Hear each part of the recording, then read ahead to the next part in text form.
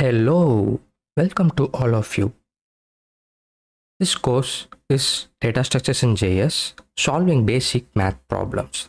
This course is all about solving basic math problems using JavaScript.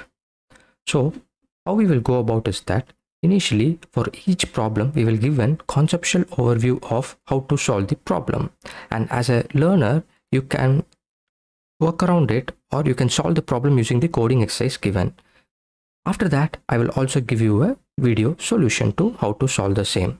Okay, so this course all starts with basic introduction to why do we need to do an analysis of algorithms. And after that, we will give a basic crash course about uh, asymptotic analysis, which will cover uh, time complexity as well as space complexity. And then we come to the topics of solving math problems.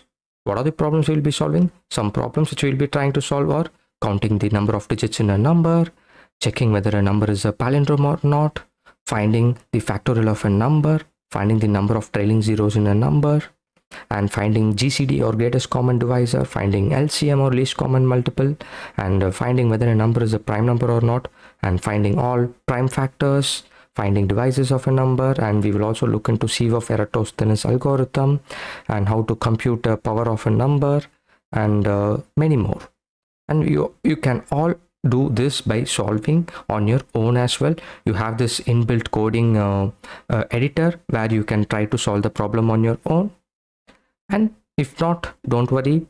I have given you all the solutions as a video explanations as well. So i hope you will like this basic introduction course on data structures in js where we are solving basic math problems.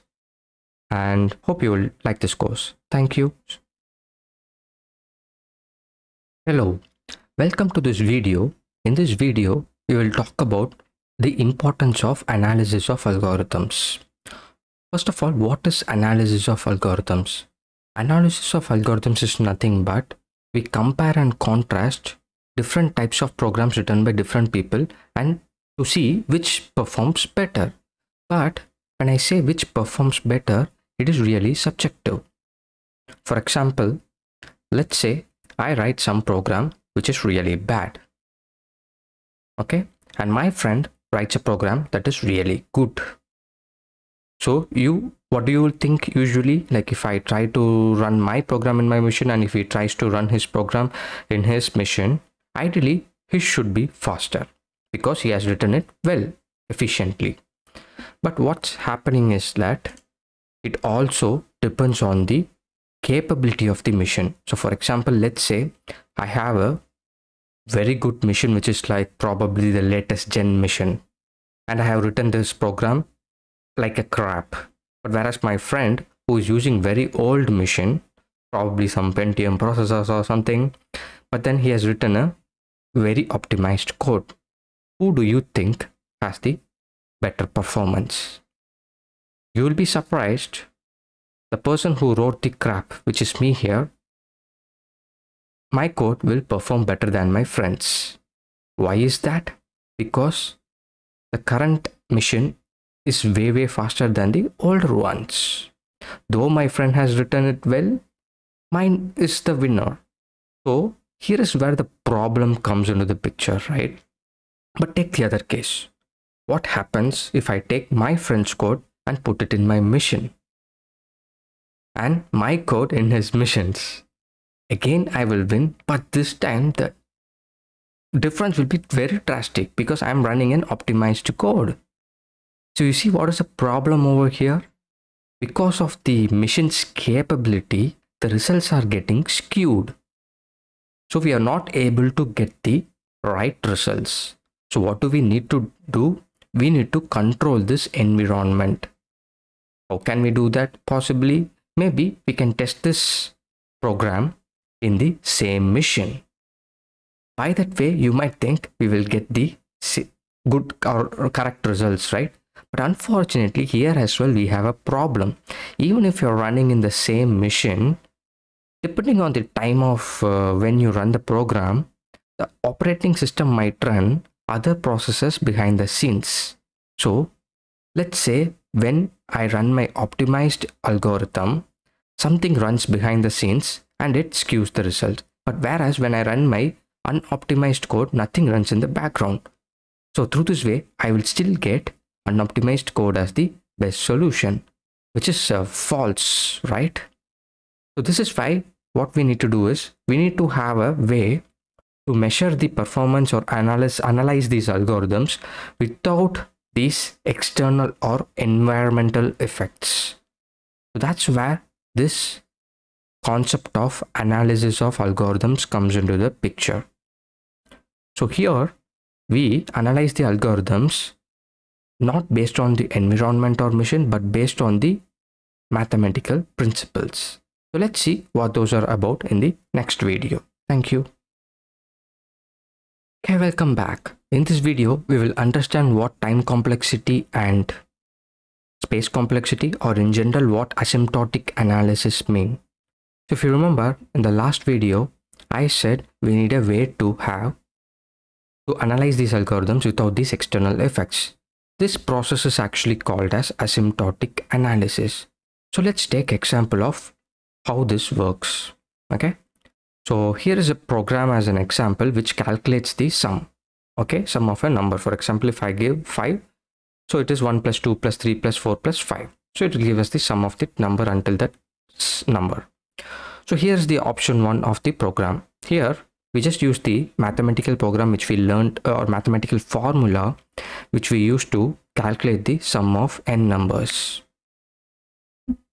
during our high school, right? It's n into n plus 1 divided by 2 okay so this is one method to calculate the sum of a number. Here is the option 2 what we do here is like we initialize a variable sum is equal to 0 and from 1 to until n we just add it to the sum. So we loop through and add it to the sum. Here is another approach. So let's see what is the option 3 so here as well we initialize the sum as 0 but then we run a loop inside a loop and then increment the sum by 1 each time. And then at last we return the sum. So which program is the best? Obviously you would say option 1 is the best, correct? But we need a asymptotic analysis or mathematical proof to prove the same. So let's try to do that. So for example, if you see here, we are doing some multiplication and then some addition and then some divisions correct these are all constant amount of work multiplication addition these kinds of things. So in the overall it takes constant amount of work. Okay? So let's take the example of option 2 here as well. So we initialize the sum as 0 and then we run a loop from i to n. And inside this loop if you see we do a sum is equal to sum plus i. This is a constant amount of work. But this constant amount of work is run n number of times correct? So hence we say the total amount of work is n times or n into constant times. Okay this is the option 2 now let's take the option 3 so we initialize the sum as 0 and inside this loop we run until until n and inside this another loop we have a nested loop from j which runs from 1 to i. And inside this we just increment the sum incrementing this sum is constant amount of work but how many times this constant amount of work is performed it is done i or n n times n right so this runs n times whereas this will also run not exactly n times but each time one lesser, right? But still, we can take it as n square times. So you see, this is constant time, this is n time, and this is n square times. Okay, through this way, we could see like this is really performant. But I am saying this n, n square, and constant time. Is there a way or notations for denoting the same? Yes, we do have some methods to do the same we do something like you know like uh, log n n power 1 by 2 n n square n cube n power 4 2 power n and n power n. And you could see like here i'm missing the constant. Actually constant is more performant than log n and log n is more performant than n power 1 by 2 n power 1 by 2 is more performant than n and n is more performant than n square and so on. So you could see then we could say right according to this uh, notation this performs poorer than this and this option 2 performs poorer than option 1 so in order to segregate all these things right we also have three other notations. It's called probably best worst and average cases. The three notations are big o notation theta notation and omega notation. These are used to signify the order of growth of an algorithm okay. Big o is also known as worst case time complexity and theta is also known as best case time complexity or average i would say. Sorry. Yeah best or average and omega is the best case time complexity. Okay. So what do i mean by worst case average case and the best case? Let's see using this example. So let's say we are again calculating the sum but this time we are passing an array itself. Okay now inside this sum method i'm initializing sum as 0 and for let i is equal to 0 i less than an i plus plus. So we are running through a loop and then calculating the sum. Okay? So we just uh, each element of uh, array is added to the sum and at last sum is returned. So in this case if you see the worst case best case and the average case all are n times because this loop will be running n times irrespective of the input. But let me delete this. Let's take this as an example. Now what we are doing is if you see for the past array we're getting the length of the array. Now if the length of the array is less than 6 i'm just returning 0 if not we do this n times operation. Okay? Now how do you analyze this program right? What will you say this complexity or what is the analysis you would say? How we can't say n times or we can't say it's a constant times right? This is where this big o theta and omega notation comes into the picture. Okay? So now what we will say is like on the best case what is the best case notation it's omega okay? Best case is whenever the n is less than 6 so we are doing a constant operation.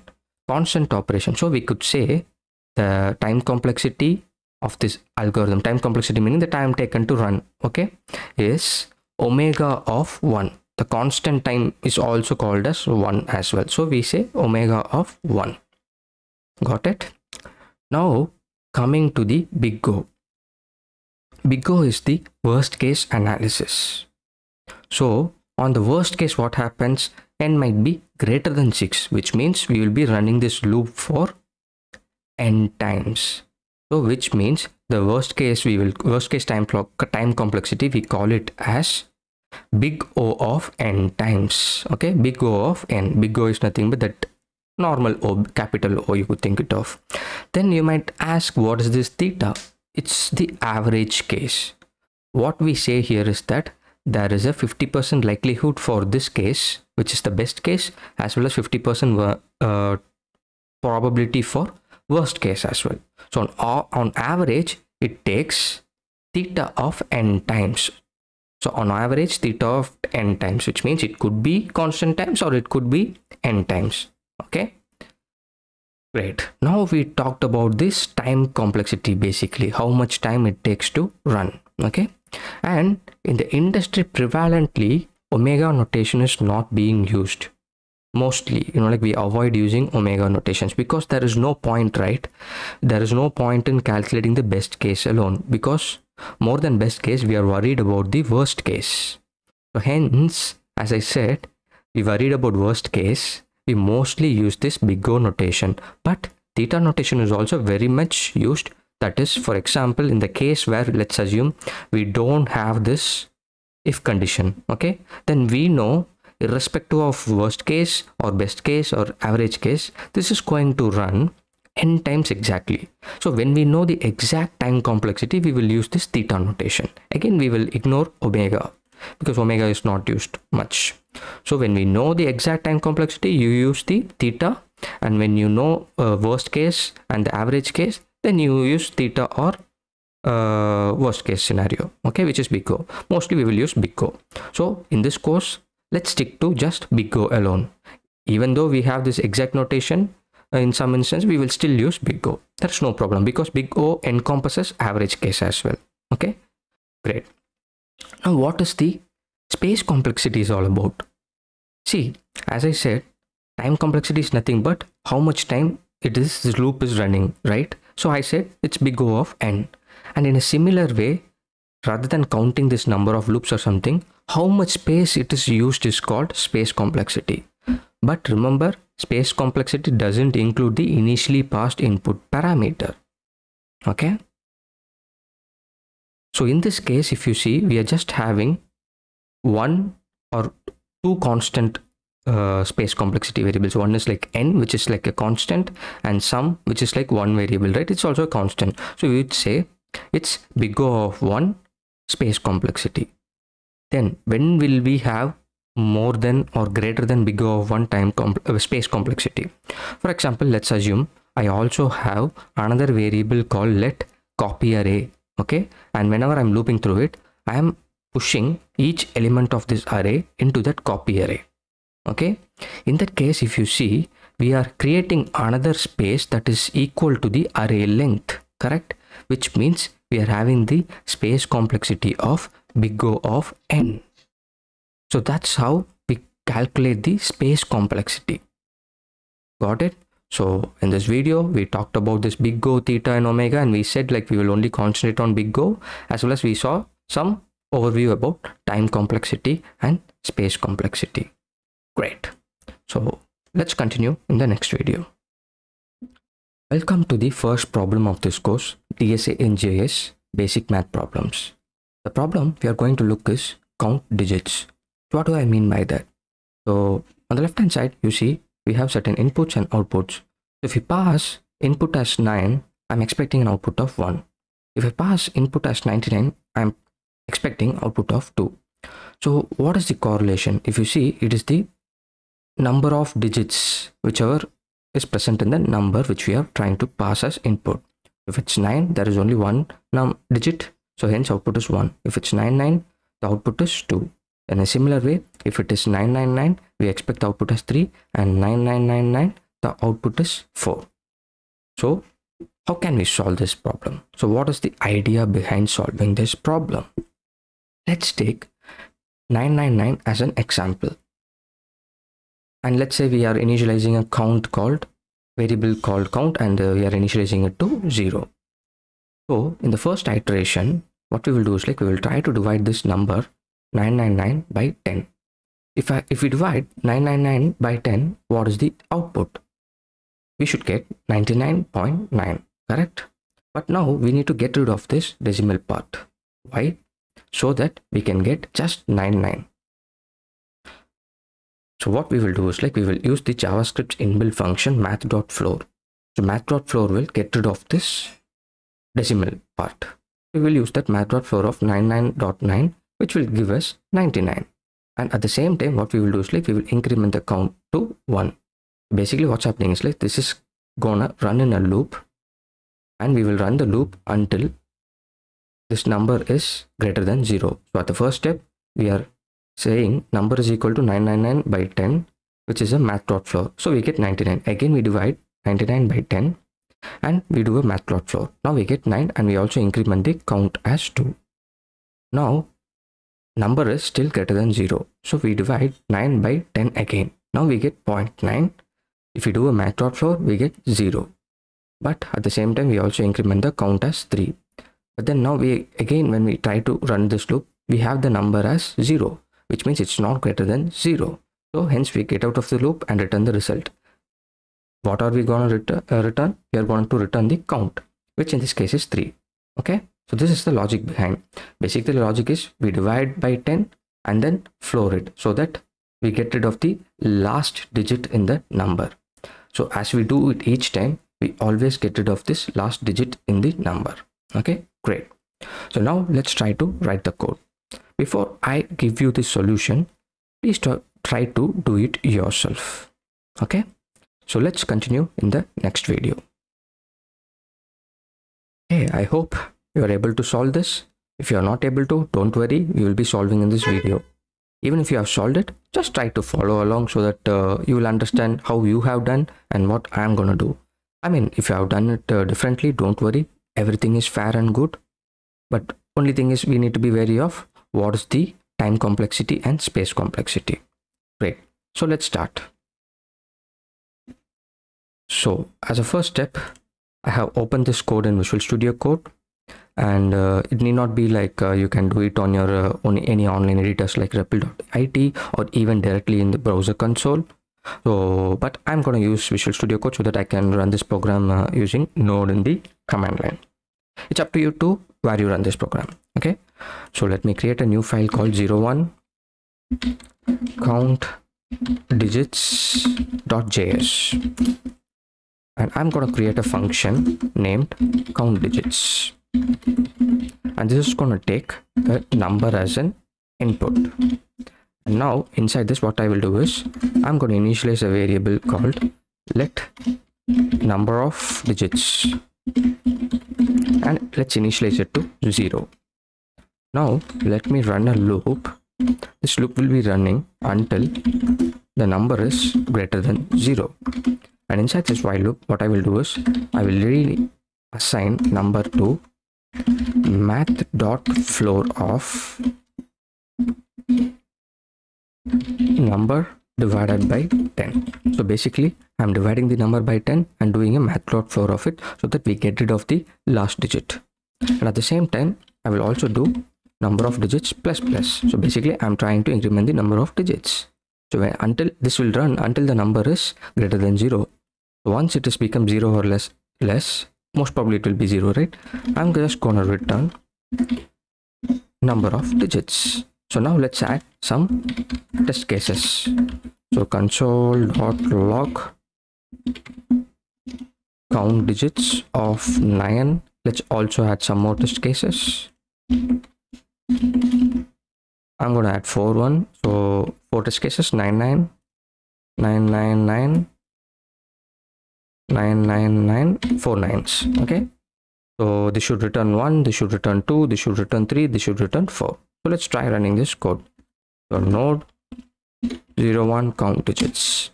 Yep as expected 1 2 3 and 4 so basically the idea is like we divide the number and floor it so that we get rid of the last digit. At the same time we increment the number of digits.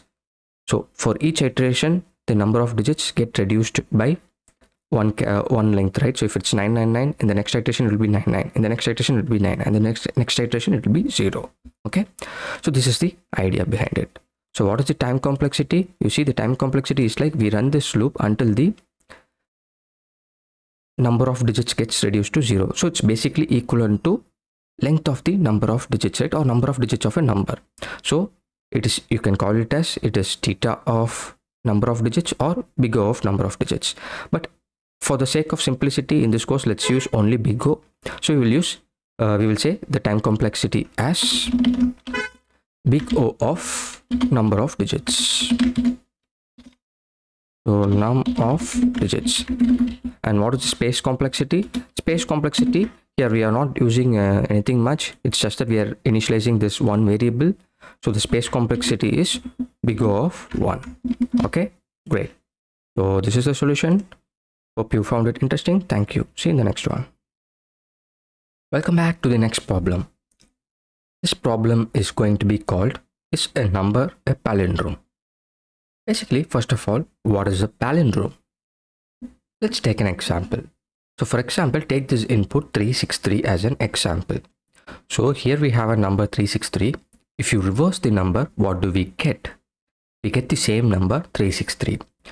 So Basically, a number which on reverse gives the same number are called palindrome. Okay. For example, take this number 763. If you reverse the number, you get 367, correct? Which is not equal to 763. So hence we say number is not a palindrome. And in a similar way, if we just provide an input as just 8, which is a single digit number, right? On reverse of a single digit, you get the same digit only. So if the number is a single digit, we just return true. Okay. So basically, if you reverse the number, you should get the same number. That's what a palindrome is. Great. So how do we do this? Let's take a look at the conceptual overview. So let's take example as 363. So as we know, we need to reverse the number and then compare it to the input. That is sure, uh, clear, right? But how do we reverse the number? So in order to reverse the number, what we will do is like, we will get the last digit first. You know, we do from the right. So in order to get the last digit, which in this case is 3, we can use of this modulus operator. For example, if you do 363 modulus 10, what you will get? So 10 goes 36 times, right? Which means 36, 360. So 10 into 36, 360. So what is the remainder? We get 3. So basically modulus operator just returns as a reminder. So when you do 363 percentage 10, you get 3, which is the last digit. Now we know we have the last digit, but we need to reverse it. How are we going to do that? What we will do is like initially we are going to do, we will set a number called reverse and initialize it to 0. Okay. And then we do reverse is equal to reverse into 10 so which means initially it is 0 so 0 into 10 plus last digit. Last digit last digit is 3 which means reverse becomes 3 great. Next we need to get rid of this 3 so what do we do? If you remember the count digits problem the last problem we just divided by 10 and do a floor of it. This symbol is for the floor actually. Okay? So now once this condition is done we have this number 36 now, since the number is greater than 0, we again will do num percentage 10, but this time the number is 36. So 36 percentage 10 is 10. See, not, not 10, sorry, 6. So we have last digit as 6. Now again we do reverse is equal to reverse into 10.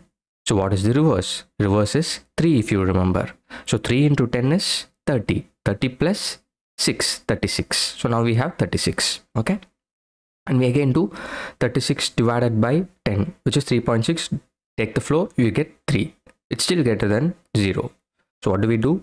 We again do num percentage 10 which is 3 percentage 10 3 percentage 10 is 3 and we do 36 into 10 right? Reverse is 36 so 36 into 10 which means we get 360 plus 3 which is 363 and now number becomes 0 now since the number is uh, 0 we get out of it and we have this reverse number which is 363 and we check whether the input is equal to this. It is equal hence we return the value or boolean true. Okay? So this is the expected output. Great. I hope you understood the logic. So please try to solve on your own in the next coding exercise and then we will look into the solution Thank you. Welcome back to the solution video. Hopefully you are able to solve the problem. In any case, let's see how the solution works. Okay, so let me create a new file 02 palindrome number.js. I'm going to name this as palindrome number.js. Okay, and I'm going to create a function called is palindrome and let's receive the number as input and now I'm gonna uh, initialize a couple of variables. First one is let reverse is equal to 0 so this is the variable which is used to calculate the reverse value. And also I'm going to create a temp variable and initialize it to the input number. Why is this required? If you remember we need to compare the reverse number to the number. So we can't directly modify this number right? Then we can't compare it with the past number. So hence i'm copying the number to temp. Now what we can do is while this temp is not equal to 0 until it is not equal to 0 what we will do is like we will get the last digit first. So const last digit is equal to temp percentage or modulus n. So this will give us the last digit. Now let's calculate the reverse. So reverse is equal to reverse multiplied by 10 if you remember.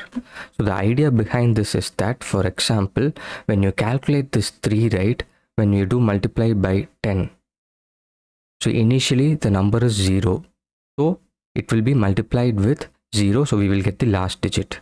So when we come to the 6 we will get the 10th digit. So we already have the ones digit so we are multiplying by 10 okay? So now we will get the 63 this one and when we again comes to this hundreds digit already we have 63 so we multiplied by uh, i mean uh, we already have 3 6 so we will multiply by 10 so we will get the hundreds digit. So this is the idea. So basically that's the idea behind multiplying by 10 okay so that's why we multiply by 10 at the same time we add the last digit. Cool.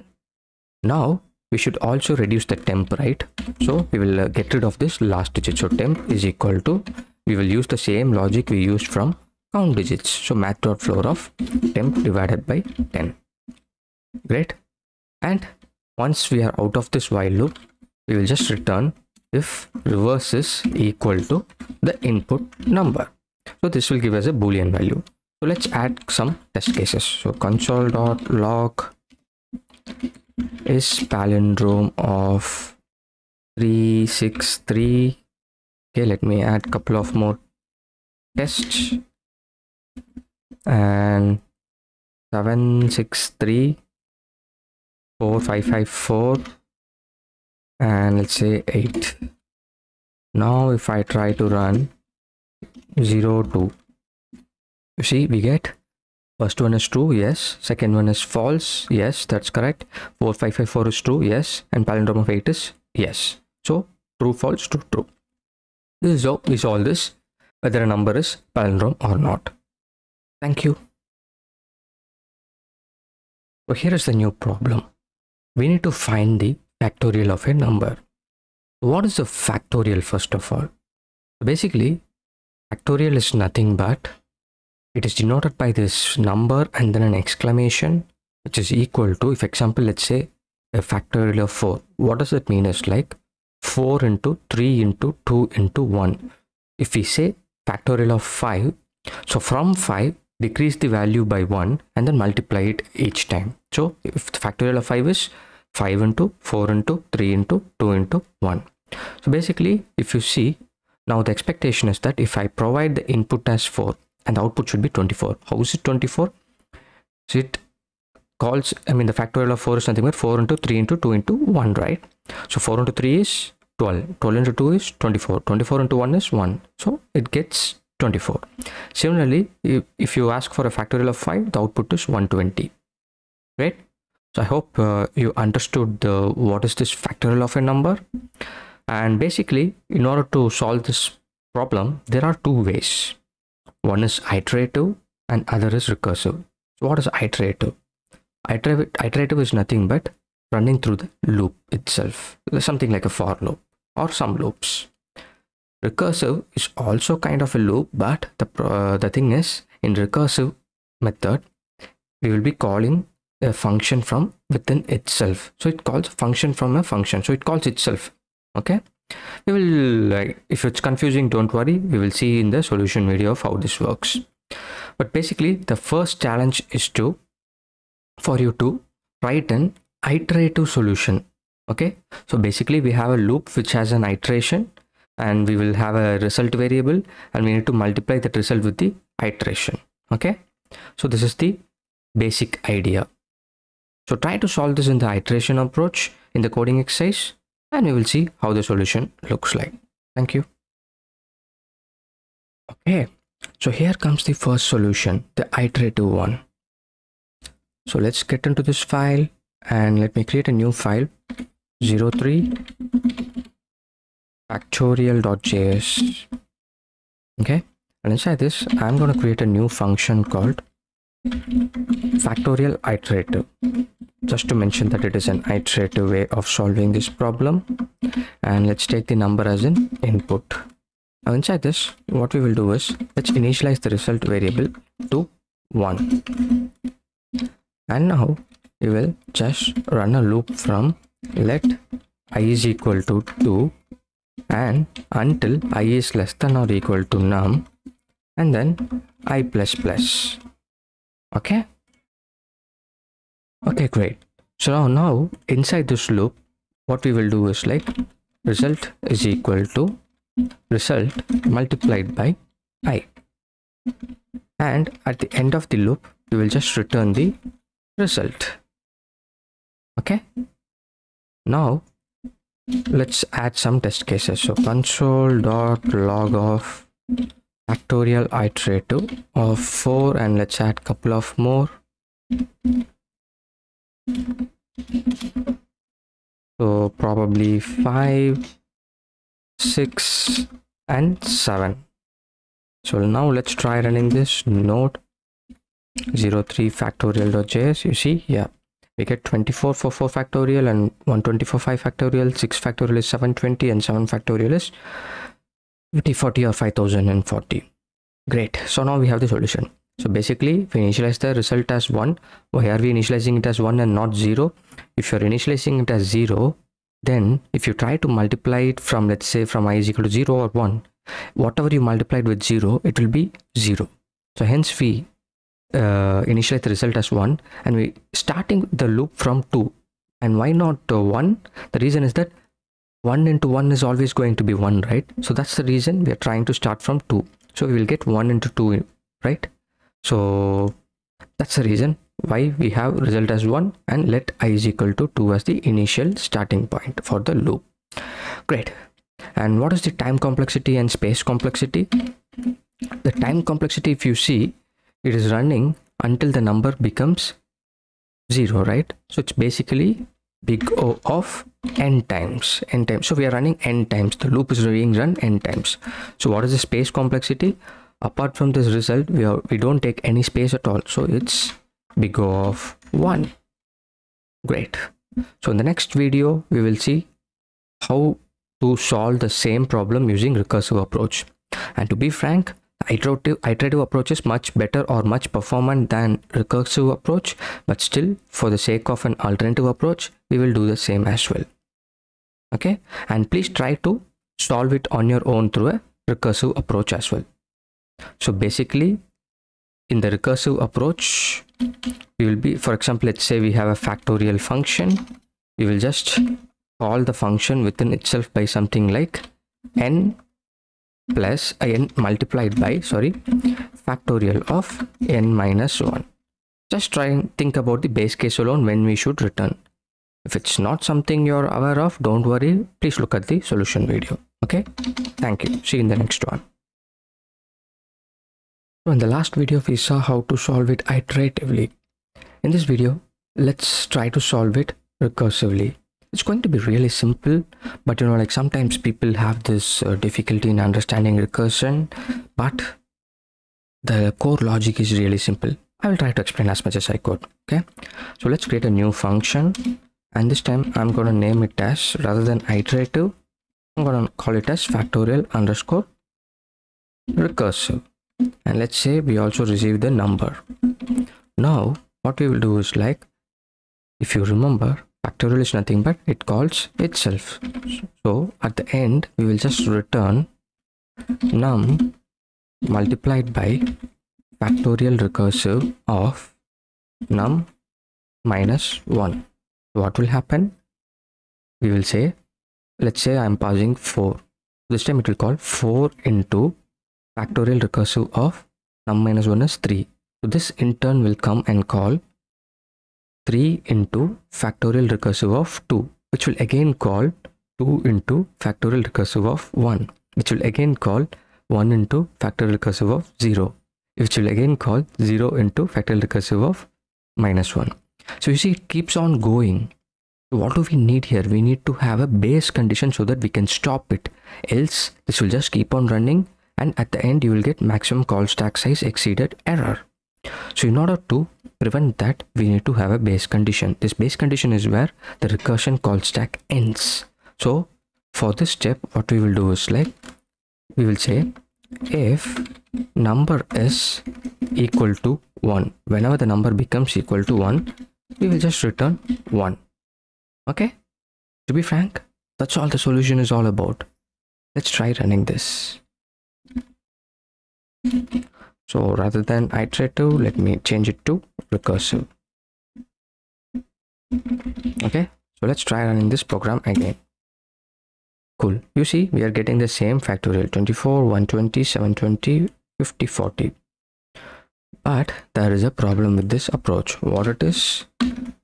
Time complexity wise it also takes big O of n there is no change in that.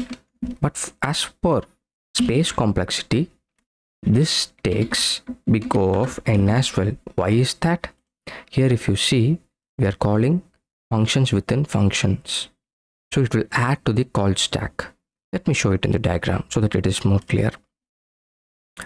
So basically if you see let's take this example of calculating the factorial of 4 factorial of 4 will call 4 into factorial of 3 and this will call 3 into factorial of 2 and this in turn will call 2 into factorial of 1 if you see these functions are all present in the call stack.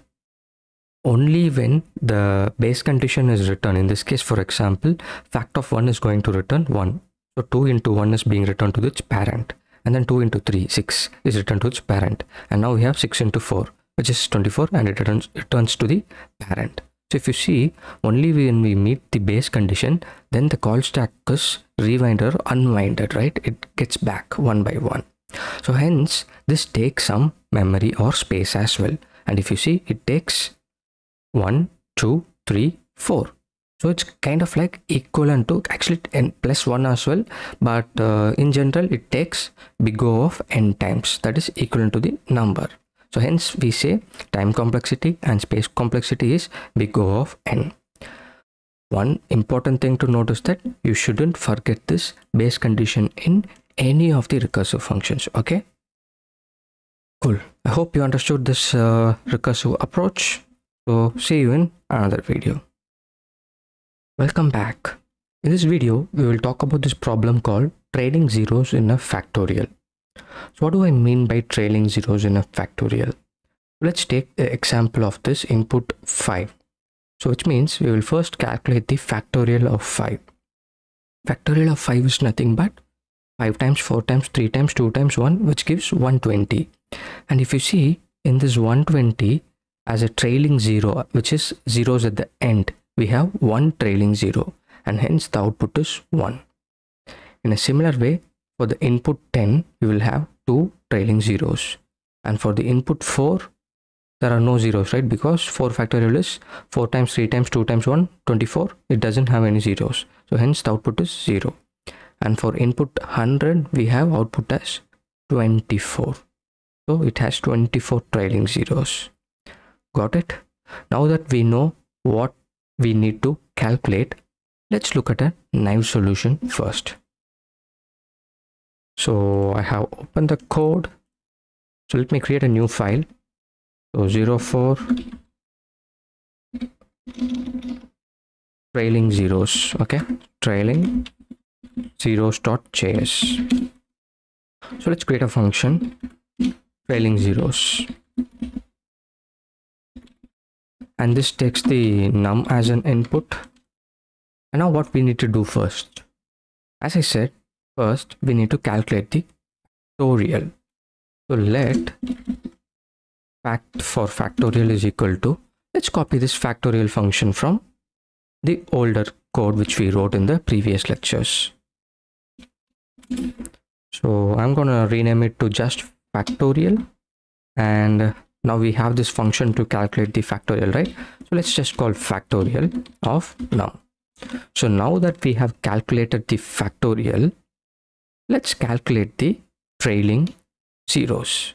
So for that first let me initialize the result variable to 0. And after that what we will do is like while fact modulus 10 is equal to 0. So until the fact modulus 10 is equal to 0 we will do result plus plus and then fact is equal to math dot floor of fact divided by 10 the same logic what we did for counting the digits. What we are basically doing is like now we have this factorial of a number. And now we check whether this factorial is modulus when we do a factorial modulus 10 whether the remainder is 0 if that is the case then we know we have a trailing 0 so we add to this result plus plus and then we remove the last digit which we do by math.floor of fact by 10 again it will check for fact modulus 10 whether it is equal to 0 if it's not the case then it will come out of that loop. So at the end what we need to do we just need to return the result. So let's try to add some test cases. So console.log trailing zeros of 4 okay let's add couple more. We know for 4 there is uh, 0 and let's add it for 5 as well okay? And if you remember yeah for uh, 5 there should be 1 and for 10 there should be 2 right? So let's add 10 as well. Great. Now let's try running this program. So node 04 trailing zeros.js you see we get the right output trailing zeros of 4 is 0 trailing zeros of 5 is 1 and trailing zeros of 10 is 2 okay harish but you usually give me an exercise. Why didn't give you give me an exercise? The reason being that there is a big problem with this approach. And hence i would like you to think of a better approach. Before that let me explain what is the problem with this approach. So if you remember when we pass the number as 100 we are expecting the output to be 24 right? Let's see what happens. So i have console.log so 100 and now if you try to run it says 0 that's interesting. What's going on? This is actually due to a problem called integer overflow so basically a number can hold on until only i mean it can hold only until a certain value beyond which it is too much right? And basically here what's happening is like if you check out maybe i can run it. And let's see what is the factorial value. So console dot log of fact for trailing zeros of 100 okay you see it says 1.93 to some num digits e power plus 157 it does give some kind of approximate notation. But ideally what happens is like this doesn't take into account of trailing zeros. Hence we have this issue. So the all the what i'm trying to say is like this issue is caused by some kind of integer overflows. So because it couldn't hold that kind of number hence this program is not suitable for very large numbers. Okay? So how do we solve now then? Okay here's where we make use of some interesting facts about these factorials. Let's see what those are about. Okay so let's see what 5 factorial is. We know 5 factorial is 1 times 2 times 3 times 4 times 5 which is equal to 120 and one interesting fact about this factorial is that when do we get 10? If you multiply 2 and 5, correct? Now, if you see here there is 1 2 and there is 1 5 and there is one trailing 0. Can you correlate now? So basically what is the correlation is that if you can find the number of 2s and 5s then we know number of trailing zeros. This is the correlation. So here we have 1, 2 and 1, 5 and hence there is one trailing 0. If there are multiple 2s and 5s or let's say like that there are like 3 2s and there are 3 5s then we know there are 3 trailing zeros. This is the fact that we are trying to use. But we can even simplify more because in the factorial 5 always occurs less than 2 right? Because it's the smaller one. So 5 is always the limiting factor. So you just need to take account of 5 that's all. Nothing else. But you need to be wary of one thing. For example in the case of 5 factorial if you see it's 120 so we say there is 1 5 correct? But what is the case for let's assume we are calculating something like uh, 25 factorial okay? So it goes from uh, 1 into 2 into 3 into 4 into 5 into dot dot dot till 25 correct? But now we also know that 5 occurs during you know like something like 5 10 15 right?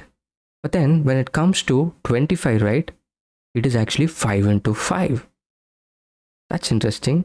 So here if you divide it by n if you divide the n by 5 we have calculated the number of fives okay but then when you compare this 25 it also has one additional 5 so what we do we again do a n divided by 25 and then if the number is still greater for example let's take the case of uh, 251 okay?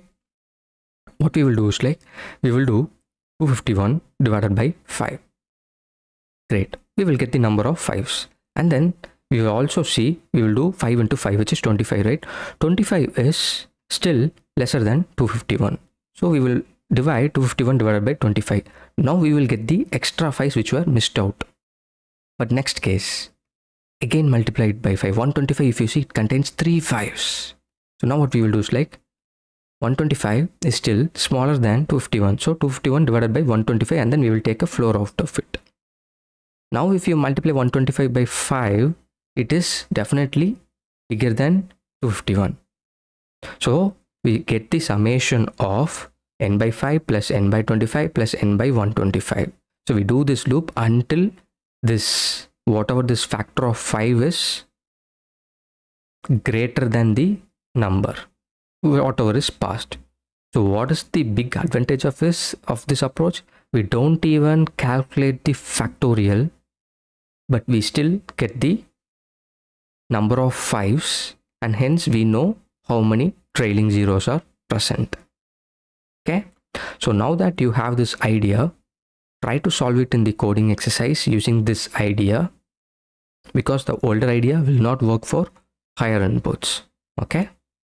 So try to solve using this idea whatever i have said now and let's uh, meet in the solution video. Thank you.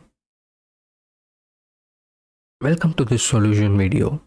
In this video let's see how to make use of the facts of the factorial which we saw in the last video and solve this problem. Great. So now for the purpose of uh, reference let me comment this out. And yeah let me uncomment these test cases.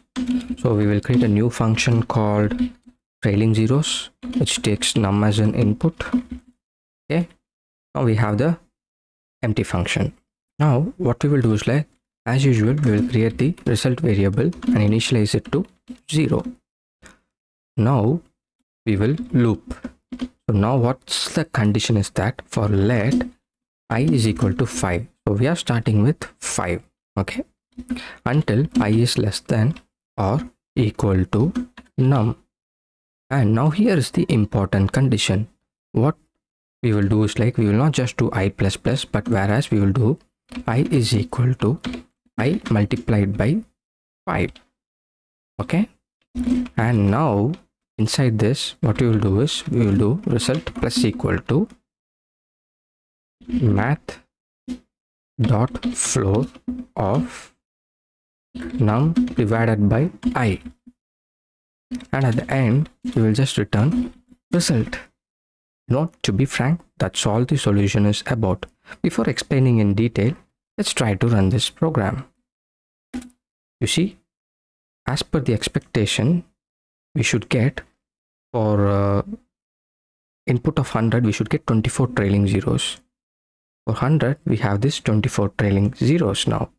It seems like the solution is working and this solution will work even for big numbers. So what is happening?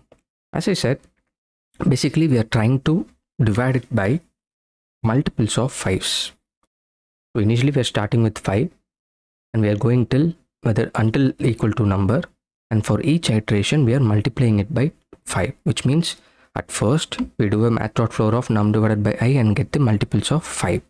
And then when we do divided and then we multiply i by 5, right? Which means now i becomes 25. Now when we do by 25, we will get the extra missed out 5s because 5 25 has power of 2 right so we are missing one 5 so we also gotten gotten that into account. And now again it will multiply by 5 which means now i becomes 125 125 is like 5 into 5 into 5 we have calculated 5 into 5 but we are missing three fives in a row. So that's why we make use of this method floor of num divided by 125 so this keeps on running until the uh, power of 5 becomes less than or equal to or greater than num. Okay? That's what is happening. So this is the solution behind this. But then what is the time complexity of this approach? Basically what we are doing is like we are doing something like 5 power k times right? Which is like 5 into 5 into 5 until and it has become less than or equal to n. This is very much if you take the very much equivalent to when we take a log something like log base 5 n. And hence we say the time complexity of this approach is big O of log n. And the space complexity we don't have nothing much apart from this result. So the space complexity is big O of 1 okay?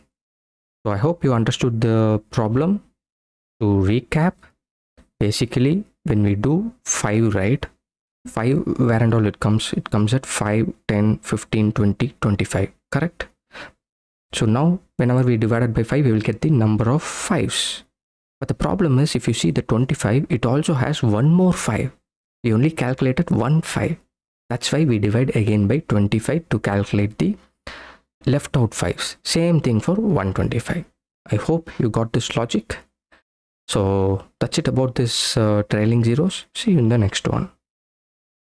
Welcome back in this video we will talk about the problem of finding a gcd or hcf of a number. What is gcd or hcf it stands for greatest common divisor or highest common factor. Let's see what that is about. Basically if the input is a is equal to 4 and b is equal to 6 what is the highest divisor that divides both of them? So in the case of 4 and 6 right of course one divides a as well as b. But the question is highest one. How about 2 it divides both a and b. How about 3 no. How about 4 yes it divides a but it doesn't divide 6 so it can go until the minimum of a and b and whatever divides highest is the highest common divisor. In this case it is 2 okay? So let's take another example a is equal to 200 and b is equal to 400 the minimum of this both is 200 and if you try to divide a by 200 it will give 1 yeah it divides. Similarly b is divisible by 200 so the output is 200 for 9 and 10 only one divides both of them.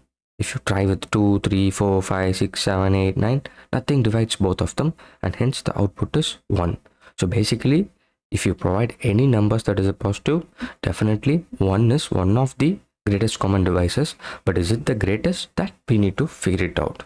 Okay? Okay cool. So now that you have an idea of what this gcd is about let's try to solve this using a naive solution. What is the expectation of this naive solution? You have a function gcd and let's say we pass a and b some let's say to any two numbers. Now the idea is that you will find the minimum of these two numbers why are we finding the minimum of these two numbers? Highest gcd can be minimum of these two right? It can't be like for example in the case of 4 and 6 it can't be 6 it can be only 4 so you can start from the minimum of a, and b and then you can uh, decrement it and go till 1 so whenever you find the highest one you just return it. Okay? Great so this is the idea. So please try to solve this in the coding exercise following. And if you already know the uh, optimized solution take it as an exercise and try to solve it. Okay? So we will see in the solution video. Thank you. Okay welcome back. Hope you are able to solve the problem. In any case let's go to the solution video. Great. So let me create a new file. So 05 gcd dot js. Now let's create this function called gcd and let's have two arguments a and a b. Okay. Now as a first step let's get the minimum value. So let result is equal to how can we get the minimum of a and b? We can use the inbuilt math.min function. So a comma b. Now we have the minimum so we can run a loop while result is greater than 1 because when we have the 1 we should return it because that's the least gcd right? So whenever the result is greater than 1 we say if a modulus result is equal to 0 and b modulus result is equal to 0 then what we will do we will just return the result. If not we will do result minus minus. And then at the end we will just return the result. Got it? So that's all the program is all about. So if you pass 4 and uh, 6 minimum is 4 so it will start with 4 4 is greater than 1 whether uh, 4 uh, a which is 4 percentage 4 is equal to 0 yes. But 6 percentage 4 is not equal to 0 so it decrements it won't work for uh, 3 but when it comes to 2 you know like this both conditions are met and hence we return the result. Got it? So let's add some test conditions. So console.log gcd of 4 comma 6 so let me copy this line and paste it a couple of more times. Second test cases is 200 400 which should give us 200 and then 9 and a 10 this should give us 1 let's try running this. So node 05 yep. As you see you get output as 2 which is the expected one 200 and then 1 cool. So this is the naive solution. The next video you will see a better solution. Thank you. Welcome back. Let's talk about the better solution this better solution is based on a mathematical approach or algorithm called Euclidean algorithm. So what does this algorithm say? Let's understand. Let's assume for A and B, A is greater than B. Okay. Now, whenever B divides A, then we know definitely GCD is B, right? For example, in the case of uh, 200 and 400, it assume like uh, b is 200 and uh, yeah b is 200 and a is 400 in that case b is dividing a which means then gcd is b which is 200 correct? This is straightforward case. But we are interested in the case where this is not true. So what will happen in that case? Then a will be equal to q times b plus r. What is that q times b plus r harish you're confusing me with this equation a we all know.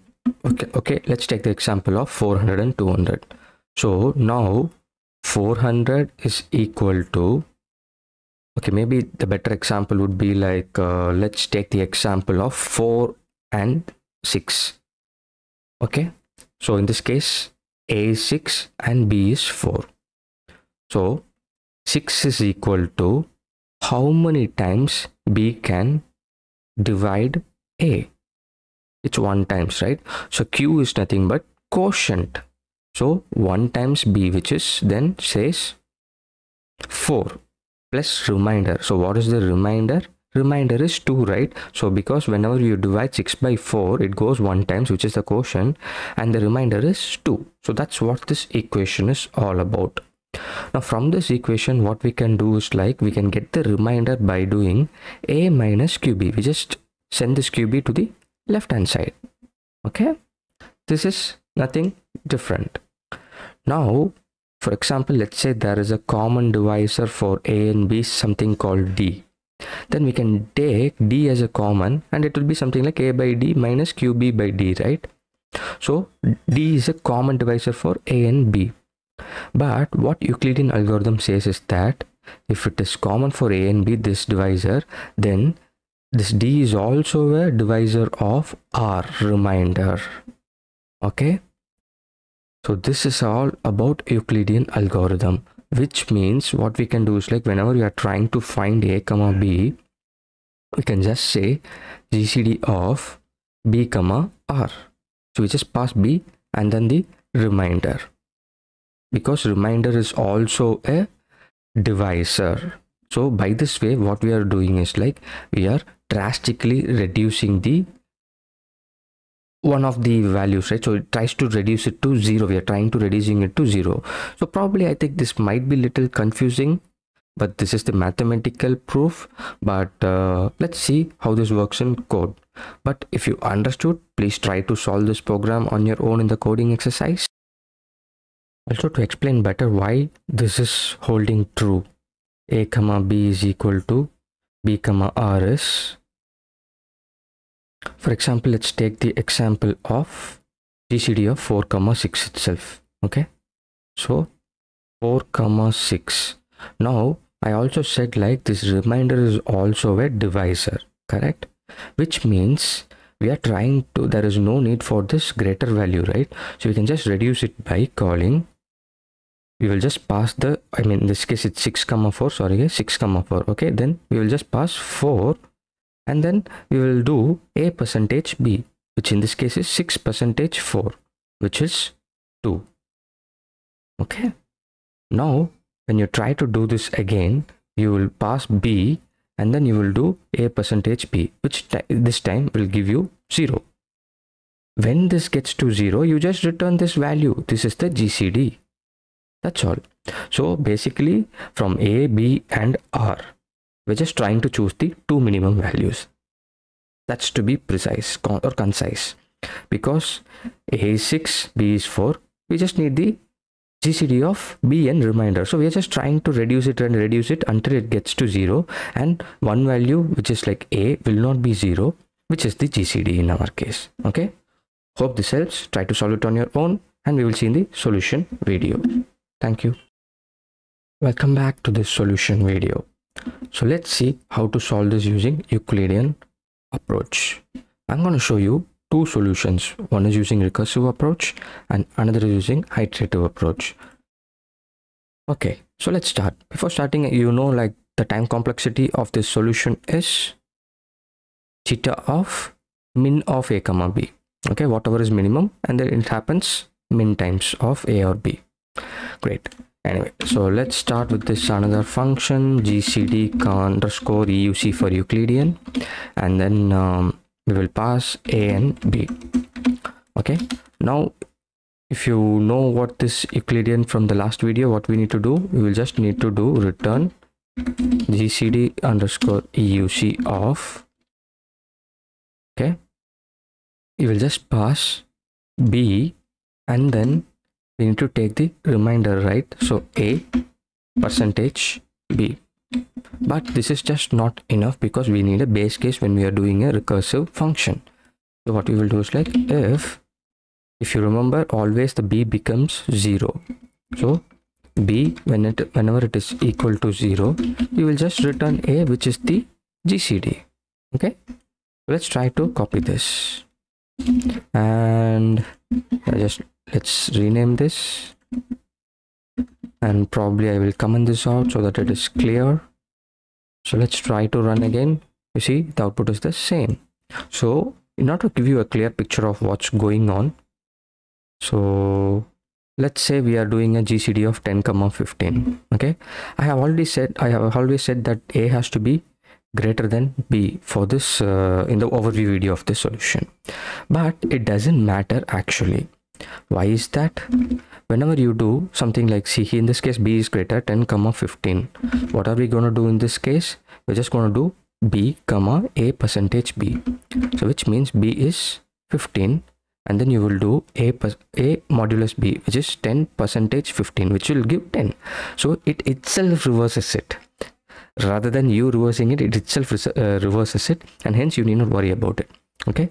So it reverses it now the next condition is we will give the b and then 15 percentage 10 which is 5 and then 5 10 percentage 5 is 0 correct? So now the b has become 0 we just return the a which is the gcd so this is how the solution works.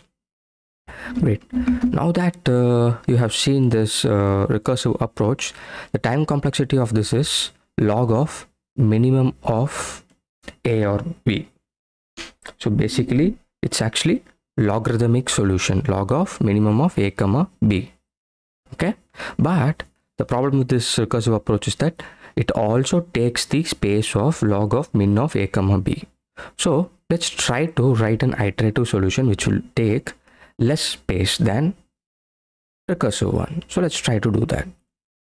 So function gcd underscore euc for Euclidean and let's say itr for iterative and then I will pass a and b. And now inside this we will do while b is not equal to 0 you know until this b becomes 0 we will do a is equal to a percentage we're just trying to do whatever we have done in the recursive to iterative okay? And now we have reduced the value of a but then we need to swap those. So how can we swap those? We can use this latest features of javascript. So a comma b is equal to b comma a. So now b becomes a and a becomes b okay? Now this will run until b becomes 0 so at the end we will just return a which is our gcd so let's try to run this using these test cases. So let me change the function names. Okay. If i try to run this now it gives us the same output. Okay. So now you see this is the recursive way and this is the iterative way. The advantage with this iterative way is that it takes constant space or order of one space or big O of one space, but the time complexity remains the same, which is log of min of a comma b. Okay, great.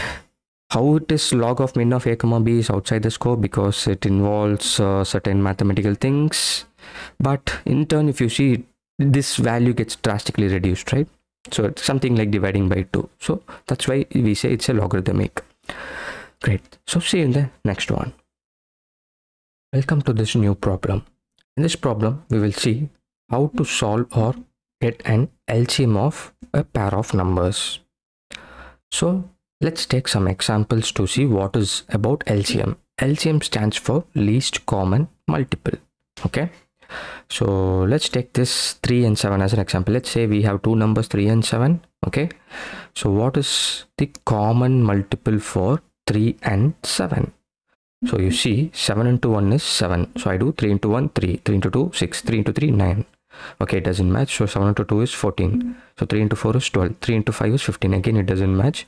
So let's do 7 into 3 which is 21 now 3 into 6 is 18 and 3 into 7 is 21 you see we have this 21 common in both 3 and 7 which is the least one from whenever we try to multiply it from one right so this is what is known as least common multiple so so the least common multiple of 3 and 7 is 21 and it is also known as co-primes because both are uh, prime numbers so if a number both both the numbers are prime numbers if you just multiply the prime numbers then we get the LCM of those prime numbers those are called as co-primes Great.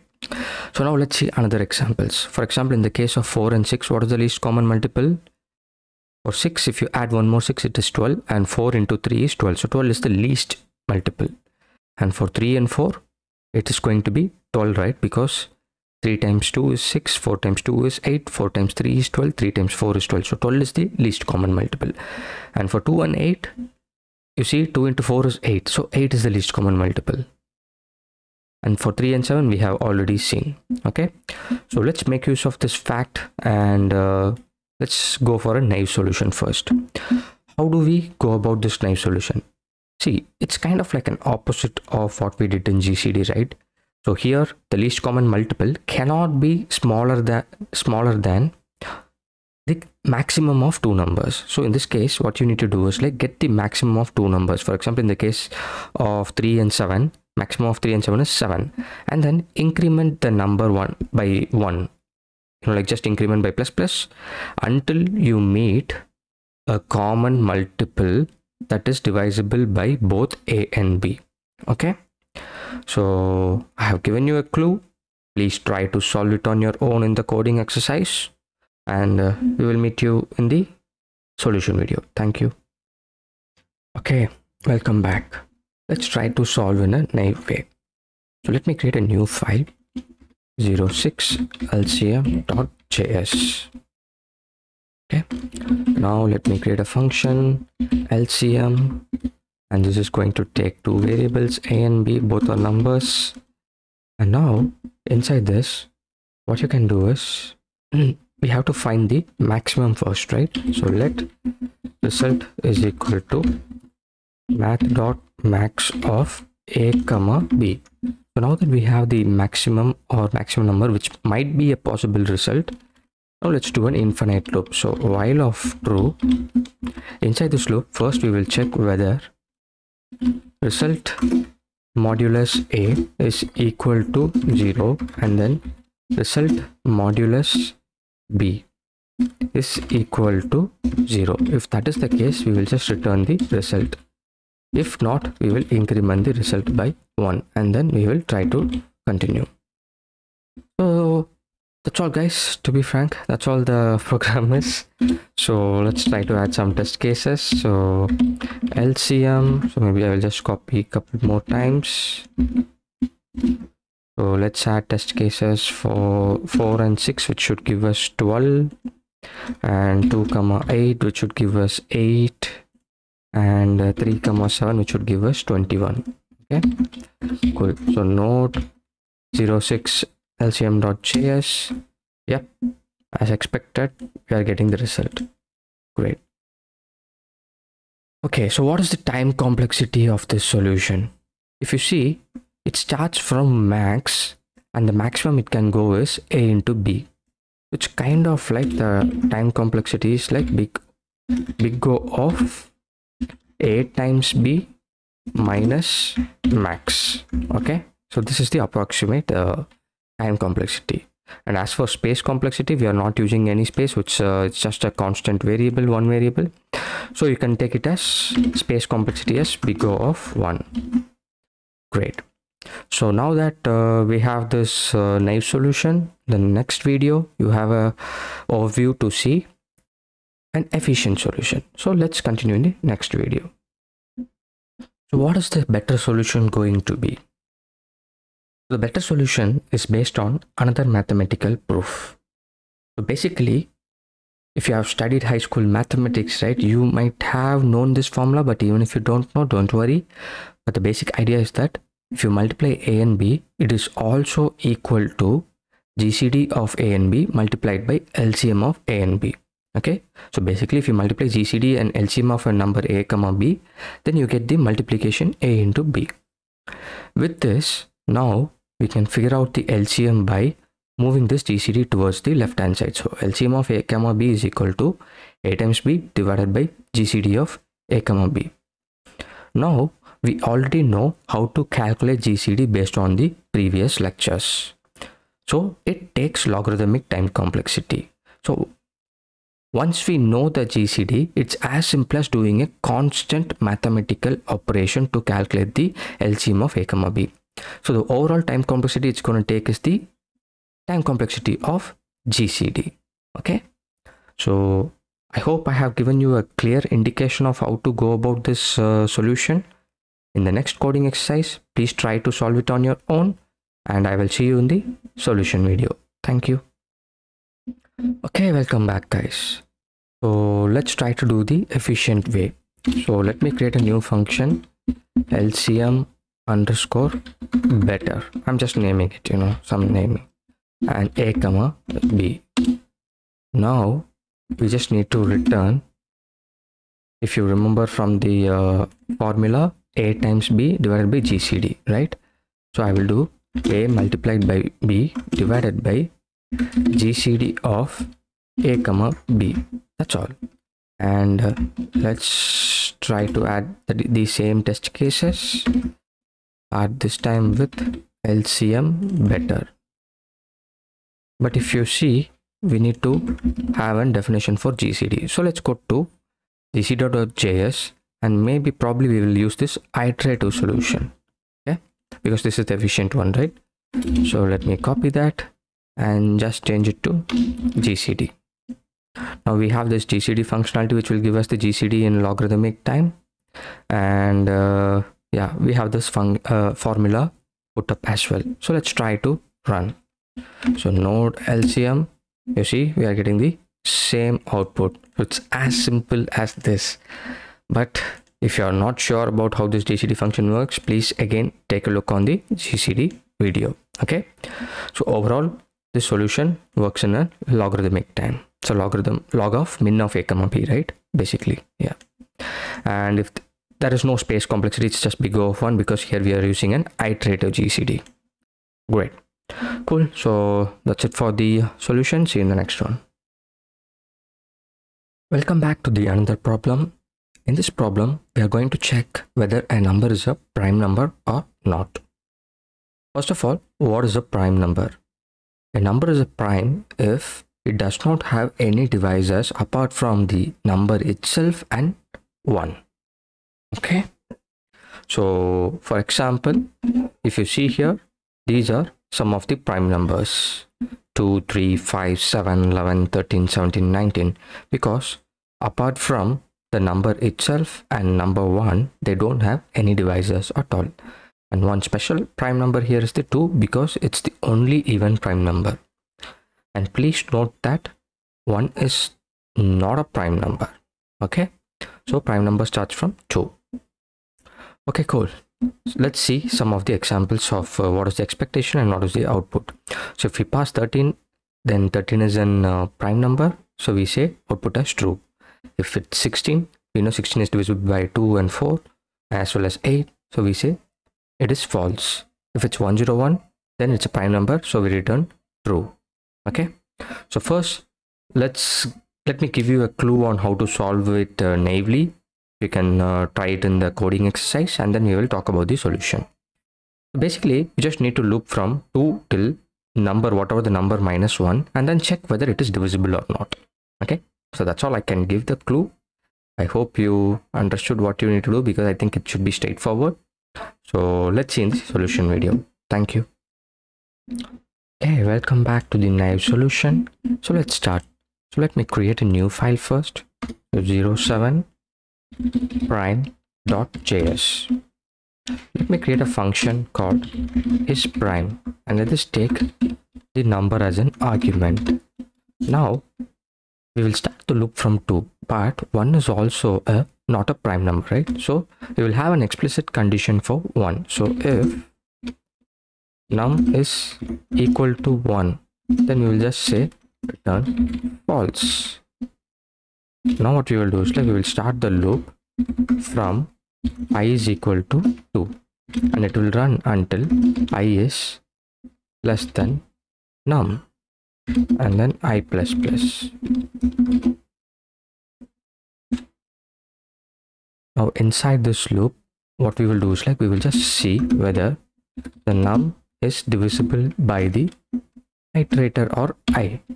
If num percentage i is equal to z zero then we know the number is divisible which means it's not a prime number. So we will just return false.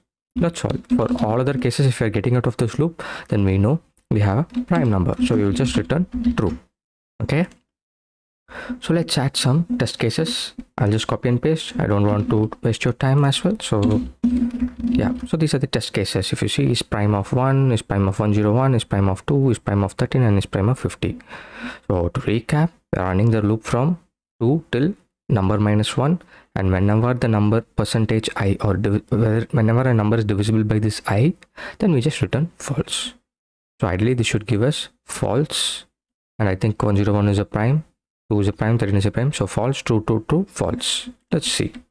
So node 07 prime.js yes as expected false true true true false. Great. So we have the naive solution. In the next video we will talk about the better approach. Okay welcome back. This is going to be our first better approach. Yes there is one more better approach than the current one in any case, let's see. If you remember, the last solution, the time complexity is big O of n and the space complexity is big O of 1. But if you know, let's take the example of square root of 9. Okay, so you know, like if you want to just let's assume we want to find the square root of 9 the possible values are from 1 to 9 right but we can just like that make it easier uh, by for example what is the square root of 9 we know 3 okay? But the idea here is that numbers above 3 can't be a square root of 9 right? Because if they do something like example 3.1 square it is going to be greater than 9 okay? So the maximum it can go is 3 so we are going to make use of this similar idea okay the thing is if you see divisors always appears in pairs. So if it's 30 right it could be 1 comma 30 or that means 1 into 30 or 2 into 15 3 into 10 or 5 into 6 similarly for 25 it's 1 into 25 and 5 into 5 so basically what this says is that if we take this this x into y is equal to n which means 2 into 15 is equal to 30 or 3 into 10 is equal to 30 correct? But here we are going to make use of this similar logic. So how we are going to make use is that let's assume that x is less than or equal to y. Okay? Now we can say that x into x is going to be less than or equal to n right? Less than or equal to n. If it is equal to y then it will at most go till n but for other cases it will be definitely less than n which means we can say x is going to be less than square root of n. Okay? So now what i'm trying to say is that rather than looping from 2 to n minus 1 and checking for divisibility it is enough mathematically to check for the looping i mean check for numbers 2 till square root of n okay? So rather than n minus 1 we are going to check till square root of uh, n. By this way what's happening is like we are getting the time complexity of big o of square root of n which is far better than the big O of n right? Because always n power 1 by 2 is less than n. And space complexity why? This is time complexity. Space complexity is as usual big O of 1 okay so you got the idea? We just need to loop from 2 till square root of n. So take this idea and try to solve the coding exercise. Let's meet us again in the solution video. Thank you. Okay let's get back to the solution. So let me create a new function. So function is prime 2 and let's take the num as well and as usual we will check for 1 so if num is equal to 1 then let's return false. If not we will loop through. So i will just copy this. So we're just trying to loop. But where is the optimization? Here is where. So rather than i less than num we will check. I times i is less than or equal to num. So this is the optimization. So now we have big O of square root of n time complexity. You need not change anything. So let's try to see how this test cases work out. So we need to get false true to true false. So let me save this and try to run again. Yes as expected we are getting false true true true false. Right. So you see that's one small change and we have made from big O of n to big O of square root of n. Great. So see in the next one. Welcome back guys. So this is going to be the next better solution. So the idea here is that we are going to have the similar time complexity but we are going to reduce the number of operations. How are we going to do that? Let me give you the clue. What we will do is like at first okay we know one is uh, not a prime number okay? Let's uh, leave that now at, as a first step for whatever the number we passed we check whether the number is divisible by 2 okay? So if we check from this list if the number is divisible by 2 we can ignore a whole lot nearly 50% numbers right? Because 2 is almost divisible one character ahead. So one number ahead. So let's say we are checking for whether a number is divisible by 2 so we can get rid of 2 4 6 8 10 12 14 16 18 20 okay let me change the color so that it is more clear. Yeah. Okay so now let's assume after checking for divisibility by 2 we also check for divisibility by 3 so 3 will be gone 6 is already gone 9 is gone 12 is already gone 15 is gone 18 is as well and then 21 and it goes on. So now after doing this if you just check right we have almost eliminated most of the things. So what we have now is 5 7 11 13 17 19 could you get any pattern out of this? So let me give you the pattern. What we are going to do now is like since we are checking initially for the divisibility by 2 and 3 and you will also check whether a number is given a 1 and then if it's 1 we say we will just return false. So this time we are going to loop from 5 till the as usual i into i less than or equal to n.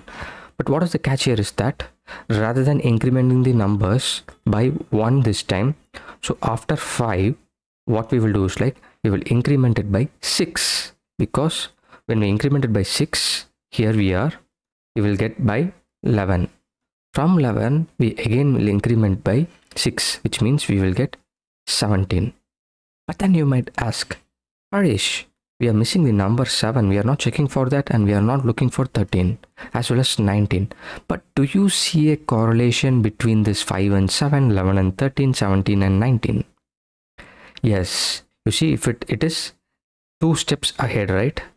So there is one place vacant behind and then the next place. So it is kind of like plus 2 so what we will do is like when we are checking inside this loop for 5 we will also check for plus 2 as well.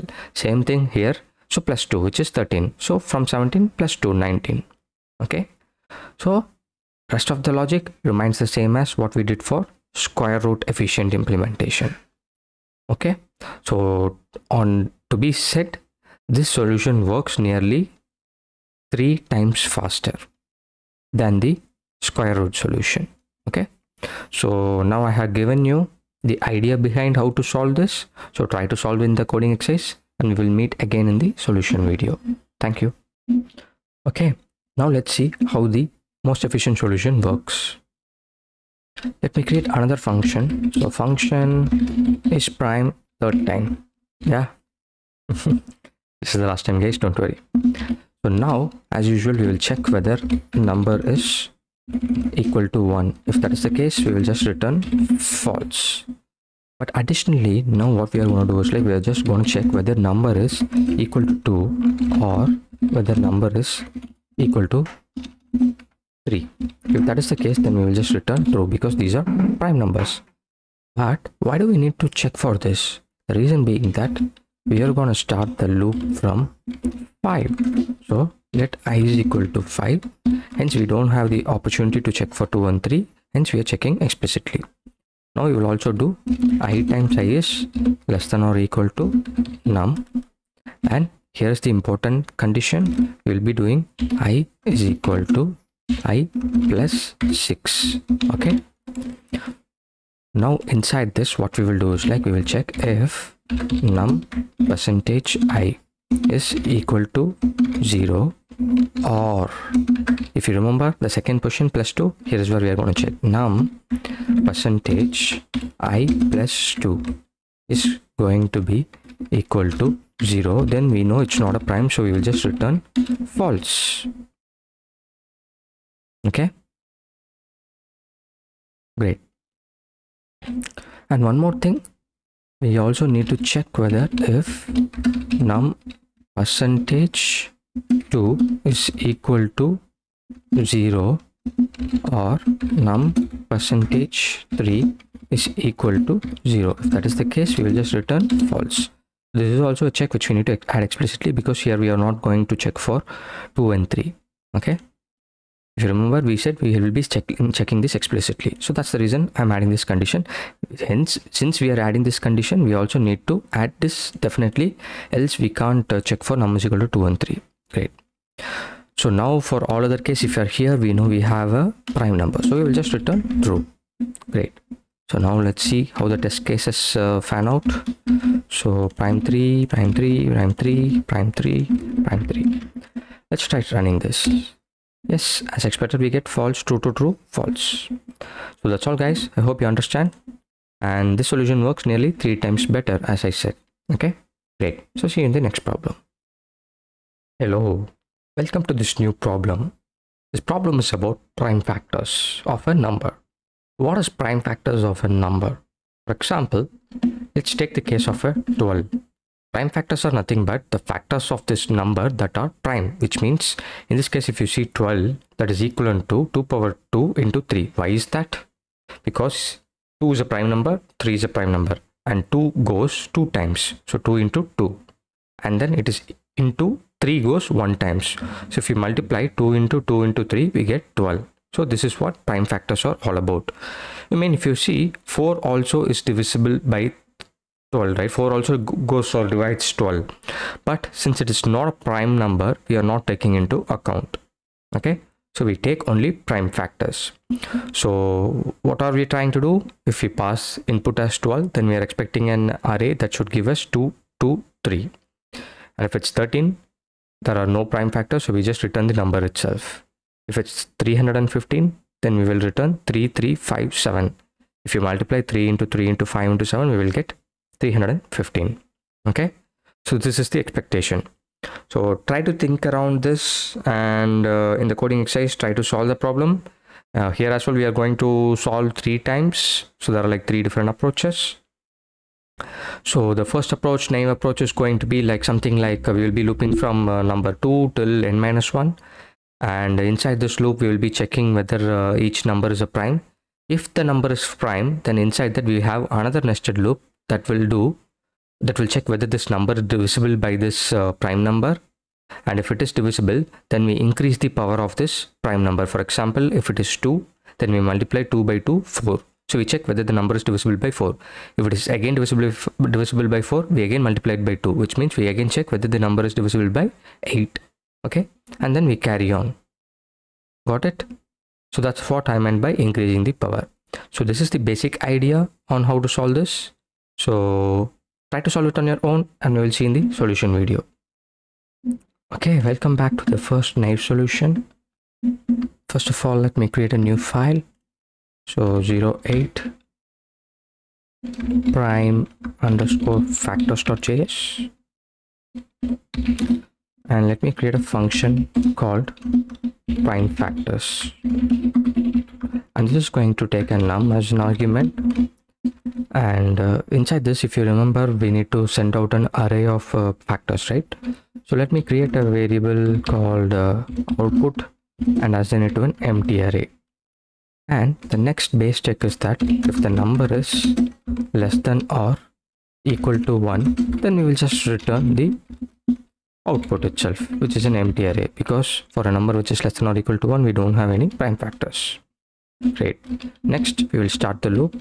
So let i is equal to 2 so we start from uh, 2 and then it goes till num minus 1 and then i plus plus. Inside this what we can do is like we will check first whether a number or the i i i mean the number i is a prime or not. So is prime of i. So you see we need to have a function called is prime. So what we can do is like we can copy from the previous uh, lecture. So let's take that. And uh, let me paste it over here. So this function will say whether the number is prime or not. Okay? So now whenever a number is prime what i will do is like let me create a temporary variable called x and assign this i.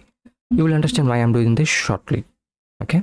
Next case is i'm going to check while num percentage x is equal to 0 so until this num percentage x which is initially 2 is equal to 0 that is if the number is divisible by x then we say output dot push of i okay and then what we will do is like we will assign x is equal to x times i so basically we multiply example if it is 2 we multiply 2 into 2 4 next time when it comes 4 into 2 8 so you just multiply or increase the power of that prime number until this number is divisible. Okay, great. So now when we are coming out of this loop, so we will get coming out of this for loop at the end, we will just return the output. Okay, so that's all actually. So when initially when uh, 2 comes this will check whether it is a prime it is a prime. So it will uh, get all the powers of it. And we'll be pushing how many times whether it is divisible. And next it will go for 3 and uh, 4 when it comes to 4 it is not a prime number so it will not go inside this loop. Okay? Great. So let's add some test cases as well. So console dot log of prime factors of 12 and let me copy uh, three more times. And this time 13 315 and then 1 okay cool. Now let's try running this. So node 08 you see the first one is 223 3357 empty empty. Yep this is providing the expected output. Great so what is the time complexity of this solution? The time complexity is that if you see this is trying to run almost n times. And is prime is actually running if you remember square root of n right? So n power 1 by 2 times. And inside that we have a logarithmic operation because like dividing and then you know whenever you multiply it it's kind of like a power operation. So it's kind of like logarithmic operation. So overall the time complexity is like n power 3 by 2 log n times okay great. And as for the space requirement if you're just printing the space requirement would have been like uh, big o of 1 but in this case it is equal to the number of prime factors. Okay so big o of prime factors is the space requirement. Okay cool. So see you in the next efficient solution. Thank you. Hello welcome back. So this solution is going to be based on the fact that composite com numbers come later. That is, prime numbers come first and then comes the composite numbers. And also, when using this approach, there is no need to use or check for is prime. Okay, so this efficient method, let's see how that works. So, efficient approach. Okay, so basically, I will give you a clue as to what has to be done first. So, for example, let's say we are looking for the prime factors of number 450 okay? So initially our i is at 2 okay? Let's say and also output array is empty. Now we will check whether i is equal to 2 which is a prime number is divisible or prime factor of 450 it is a prime factor right? Because it is divisible. So now what we will do is like output becomes 2 and then we will divide 450 divided by 2 which is 2 and then 225 okay this becomes 225 now again we will loop whether 225 is divisible by 2 it is not the case. So now what we will do? We will change i is equal to 3 remember now output is 2 now what we will do is we will see whether 225 is divisible by 3 it is indeed divisible right? It goes 75 times. So the output becomes 2 comma 3 okay? And we will again check whether this number is divisible by 3 yeah it is again divisible by c 3 so now the output becomes 2 3 3 okay? And 75 divided by 3 is 2 and then we will have 5 so 25 now 25 is not divisible by 3 so i becomes 4 if you see if you remember i said we will not be checking for is prime right?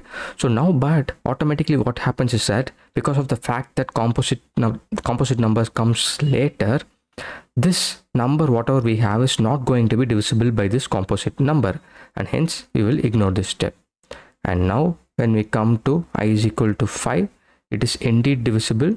So we will add 2 3 3 5 and 25 divided by 5 is equal to 5 got it? And again we will be dividing it by 5 so it's kind of like 2 into 3 square into 5 square.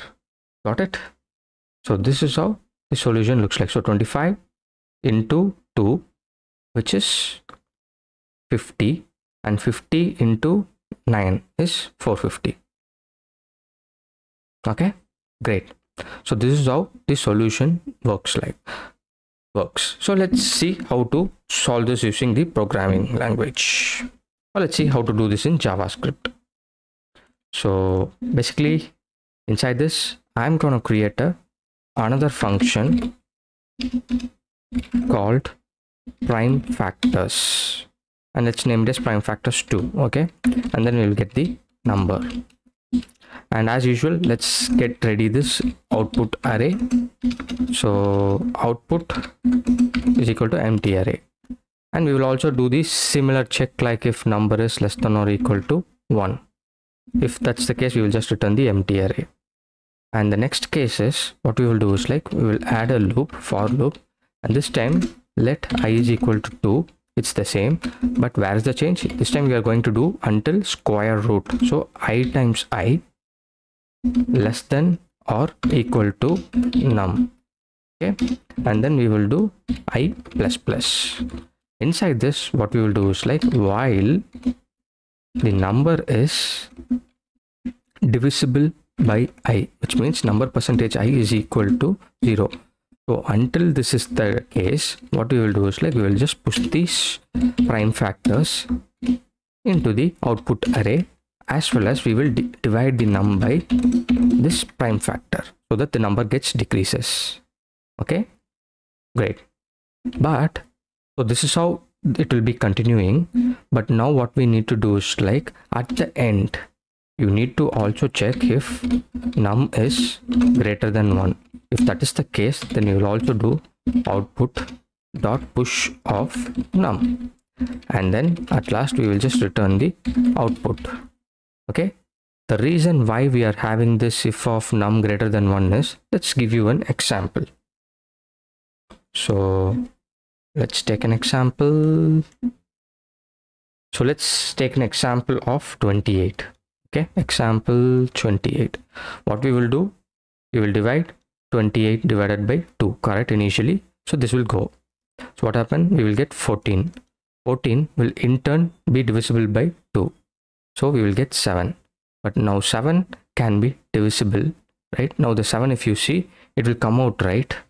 So in the case of this program 7 times 7 is greater than or equal to, or less it's greater than the number actually but it is a prime divisor right? So that's the case why we have if number is greater than 1 then we push the number. So it's the left out number which we are trying to push. Got it? Cool.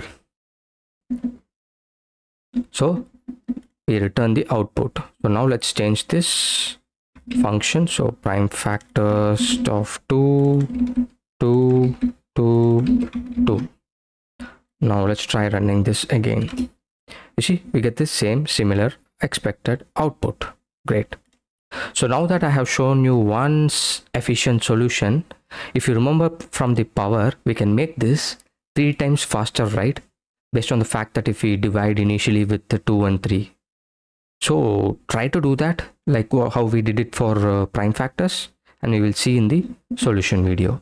Thank you. So welcome back. Hopefully you're able to solve this problem efficiently. If not, yeah, let's do it now. So let's create a new function called prime factors 3 and this takes num and uh, inside this as usual what we will do initially we will create an output array so let output is equal to empty array and then if num is less than or equal to 1 then we will just return the output. Okay? If not what we will do is like if you remember we initially need to check for the divisibility of 2 so num uh, modulus 2 until it is equal to 0 what we will do we will just do output dot push of 2 and then we will also reduce the number by dividing it by 2 so num divided by 2 cool after 2 what we will do? We will do the same thing for 3 so num percentage 3 is equal to 0 so until it is divisible by 3 we'll do output dot push of 3 remember we are just trying to do the same thing like what we did for prime number. Nothing different. Only thing is different is that we are all pushing it as well as we are dividing this number. Okay?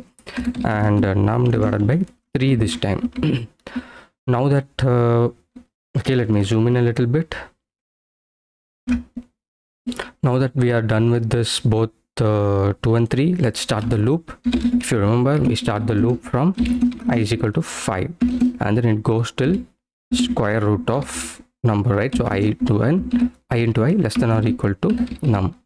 And then we will increment the i by 6 correct so inside this what we will do is like we will again do this while num modulus i until it is equal to 0 we will do output dot push of i. And then what we will do num is equal to num divided by i. But this alone is not enough. Remember the plus 2 case so we will also check for that. So while num modulus i plus 2 is equal to 0 so until this is equal to 0 we will do output dot push of i plus 2 and then num is equal to num divided by i plus 2 great. So now once we are out of this loop there might be some uh, prime factors that are greater than 3 right this time because for less than 3 we are checking here explicitly. So we will do if num is greater than 3 then what we will do? We will do output dot push of num nothing else. And in the end we will just return the output. Great. So now let's change this from prime factors 2 to prime factors 3 so i'm changing it and now let's try running this code. Okay. So yeah as expected 2 to 3 13 3 3 5 7 is expected value right? So 12 it should give you 2 to 3 and then 13 gives 13 3 1 5 gives 3 3 5 7 and 1 gives empty array great. So that's all. That's all for this video but uh, let me give tell you like how this seems to work. So as usual if you remember let me change the color. One is not a prime number and we also divide divide by 2 and 3 so let's get rid of that. So 4 is uh, the thing is what i want to share uh, share here is that uh, why we are not looking for 4 and 5 is that. 4 is also a factor in some cases right? But the thing is 2 is actually a factor of 4 which means we are covering all the 4s inside this 3 itself i mean 2 itself because 2 times 2 is 4 right? So hence we are not taking this into account. So hence the way which we worked out with the prime factor works here as well okay? So just a small uh, uh, clarification. So let's see in the next video. Thank you. Welcome back to this new video. In this video we are going to talk about divisors of a number. What what is basically divisors of a number? Let's take the input of 15 so from 1 to 15 what are the numbers that can divide 15 those are the divisors of a number. This includes prime numbers as well as composite numbers. So in this case if you take 15 we know 1 will divide 15 3 5 and 15 2 will not divide 15 right? Because it doesn't divide it uh, properly so these are the divisors if you take 20 as an example 1 can divide 2 4 5 10 and 20 got it? And for 13 1 and 13 i think this should be really straightforward. Okay? So first let's solve it in a naive way. So what is this naive way? What you need to do is like just run a loop from 1 to n and check whether a number is divisible. Okay? If number is divisible that's all. Basically you just need to run a loop and then check if the number is divisible. If the number is divisible you just add it to the array. Got it? Hope this is really simple. So see you in the solution video. Thank you. Welcome back to this solution video. So let's see how to solve this naively so let me create a new file 09 divisors.js and inside this file let's create a new function called divisors. And let's say it takes the num as an argument. And inside this as a first step let's initialize the output array so that we can push the uh, divisors.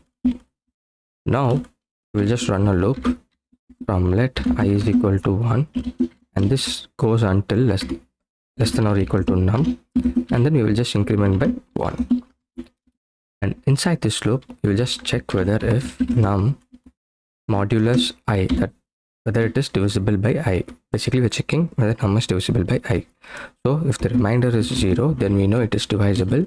So we'll just push output dot push of i. And in the end we will just return the output hope this is really straightforward right? We just run the loop from 1 to num and then whenever a number is divisible we just push it to the output array and then at last we return it.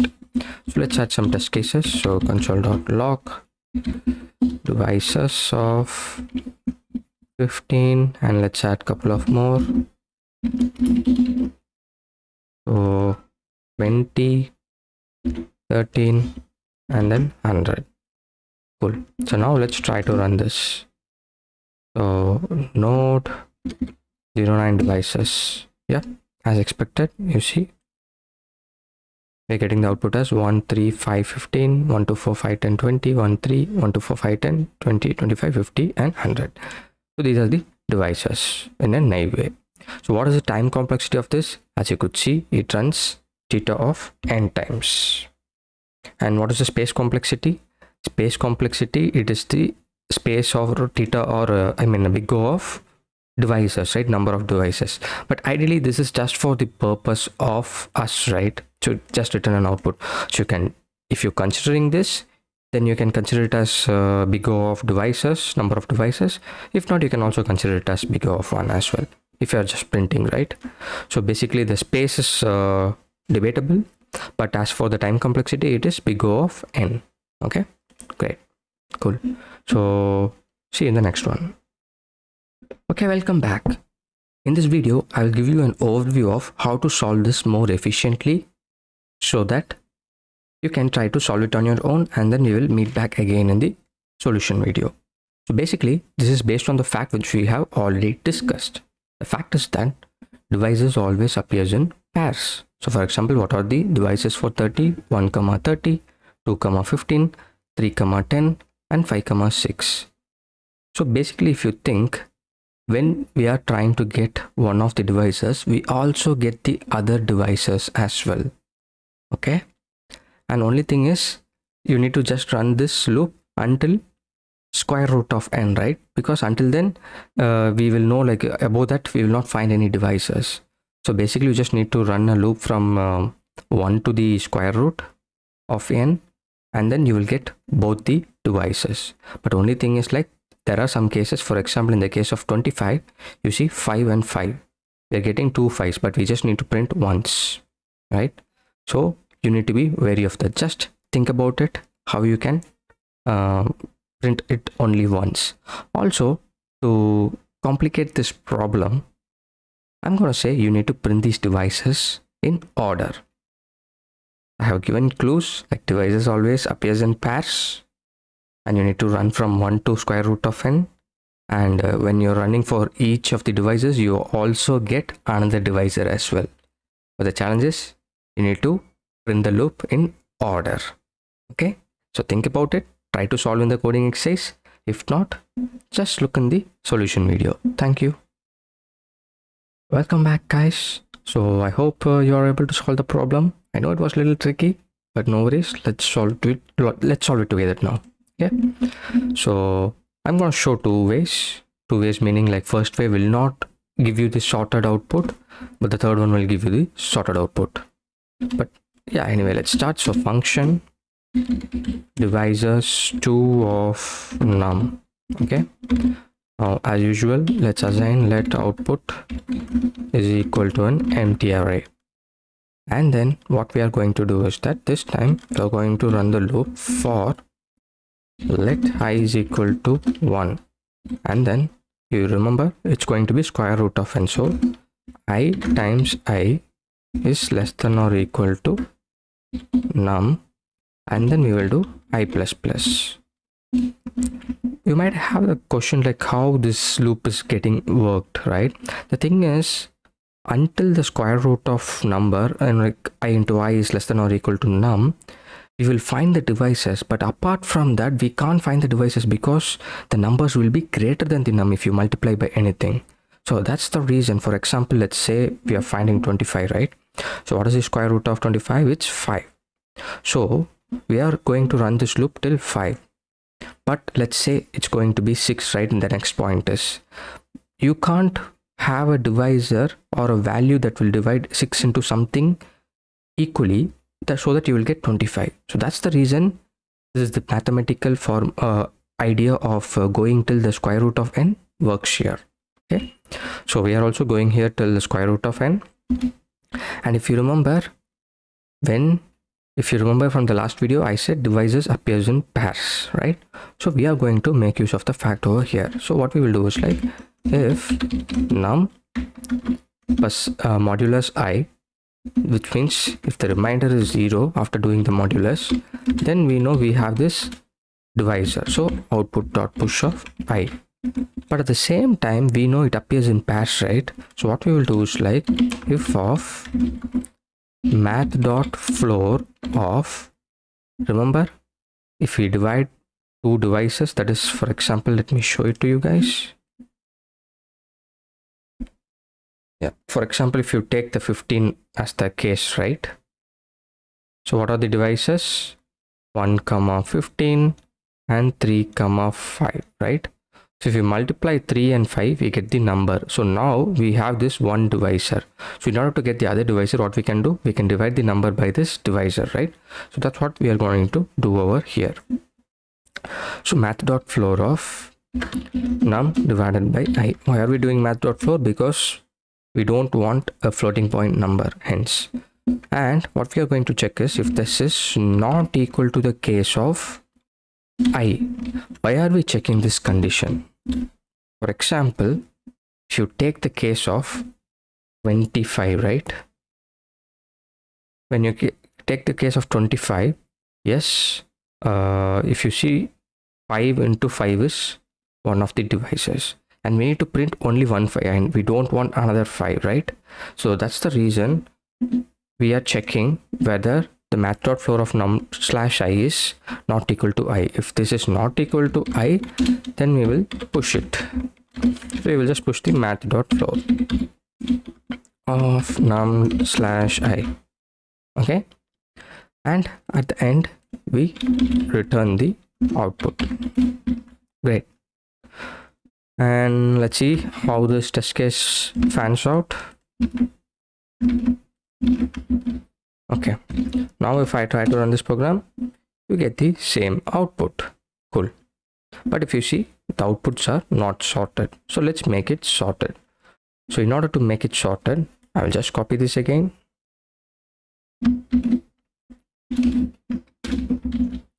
and let's say it is divisors of 3 and we have let output is uh, empty array. This is fine. And after that what we will do is like we will have one loop and we will just remove this. But one small change we are going to do i will explain why we are making that change shortly. Rather than less than or equal to we are just going to do less than. Okay? Now what we will do is like we will run another loop. And this time we are going to do a reverse of the loop. So let me take this uh, variable outside. So let i okay? So for example let's say we are doing this for number 20 okay? So square maximum it will go till is 4 right? Because uh, 16 is the which is 4 into 4 16 is less than number. But if you do 5 into 5 it is greater than 20 so what we will do is like this i will go till 4 and then in the next loop when i becomes 5 this will not be executed. So now we know when we come out i value is 5 so what we will do is like until i is greater than or equal to 1 then i minus minus. Okay. Now inside this loop what we will do is we check whether if num percentage i is equal to 0 so whether the remainder is 0 whether it is divisible. If this is the case then we can just do output dot push of math dot floor of num divided by i. Okay cool. Now if we try to run this problem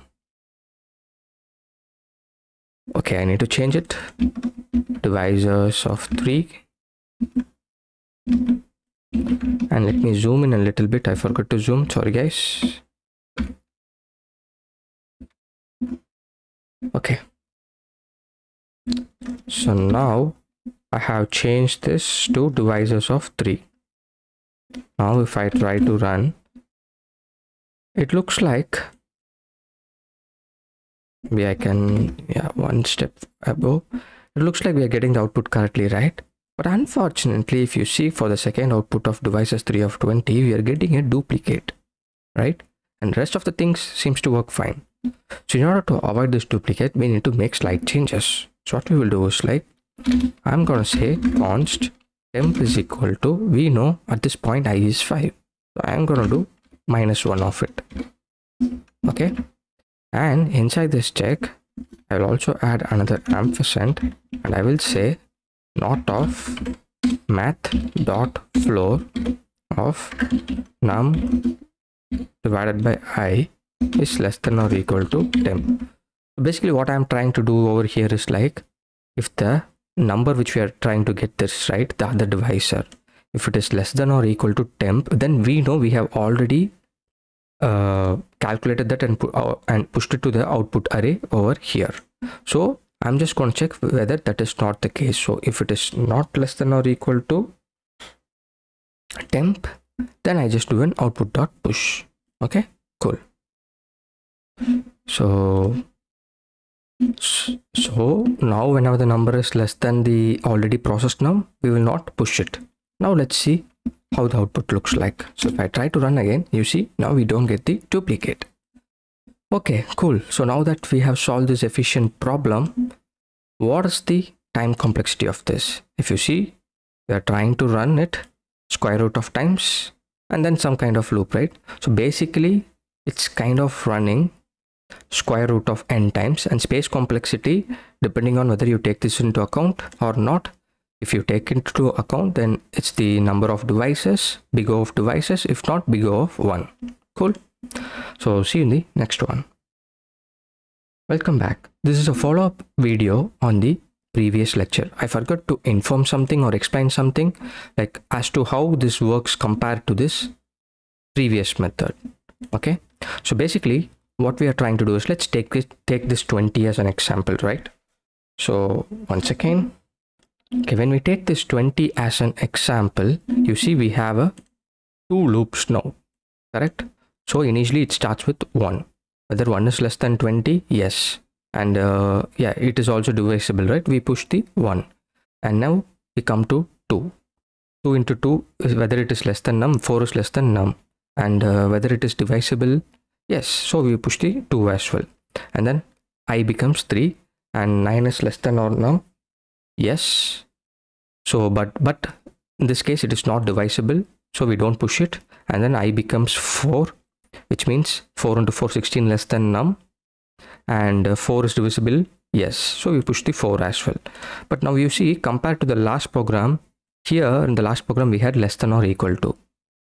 Rather over here we have just less than okay? So you have processed till 4 and then when i plus plus is done now i becomes 5 but then 5 into 5 is not less than 25 right? It's 25 is not less than 20 so which means we come out of this loop so at this point what happens is like i'm going to take a const a temporary variable.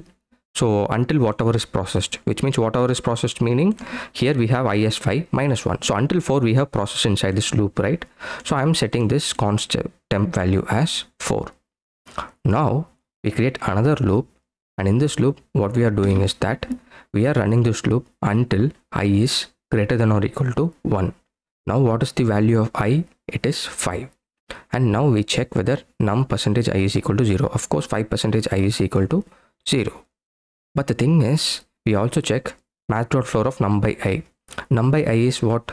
20 divided by 5 which is 4 and it is less than or equal to temp because it becomes true right? Because in this case temp is also 4 so we don't push the 5 over here. So what happens? We decrement the i. Now in this case it becomes 4 when it comes to 4 num percentage is of course is equal to 0 but this time math.floor of num dot is 5 and it is greater than temp so we just push the 5 over here. So that's how whole thing works. And we also remove the duplicates. Okay? Cool. So see in the next one. Welcome back to this new video. In this video we we need to print out an array. Maybe not print out. We need to return an array that will give us all the prime numbers till the number n including n for example take the case of an input 10 so if you give input as 10 then it should give us 2 3 5 and 7 these are all prime numbers that are less than or equal to 10 so for the example of 30 it's going to be 2 3 5 7 11 13 17 19 23 29 all the numbers that are less than right less than or equal to the 30 and these are all prime numbers. So basically we need to just return list of prime numbers that is less than or equal to n.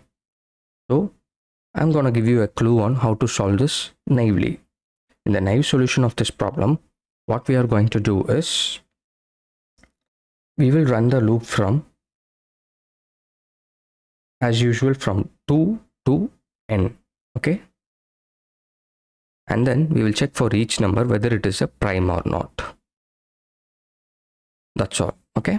So basically you will run the loop from 2 till n and then we will check whether each number is a prime number or not. If it is a prime number then we are going to add that to the list of array.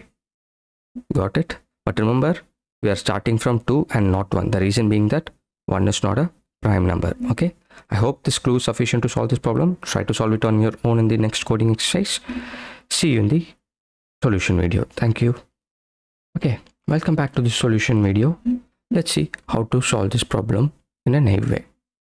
So I'm going to create a new file. This time I'm going to call this as sieve. You will know in the next video why I'm going to call this as sieve.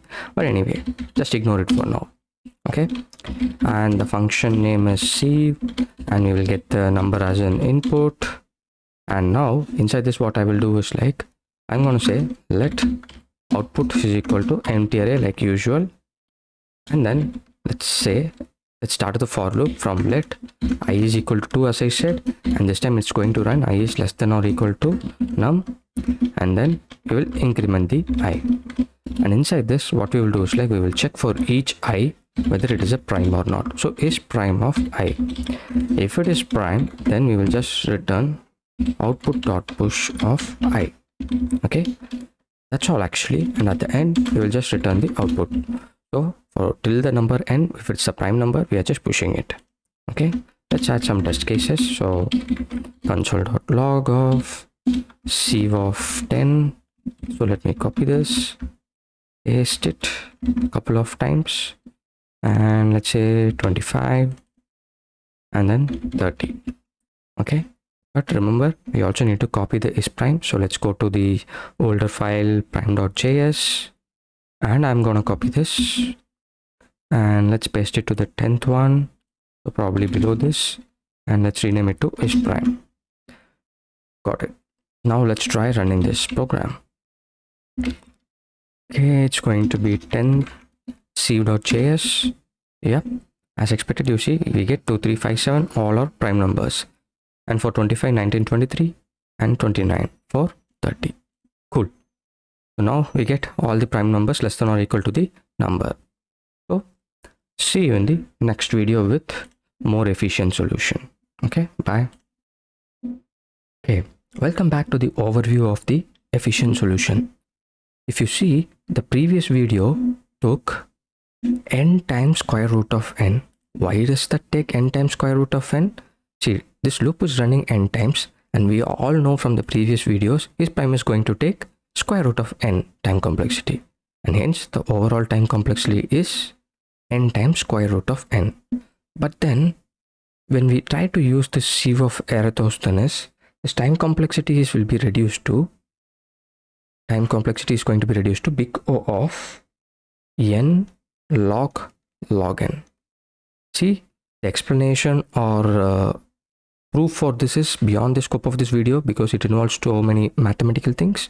So, but understand this is going to be far better than the older one because it's nearly going to end, right? Because log n is really slow, meaning log n is really slow to grow. So, which means it's kind of like more or less linear, right?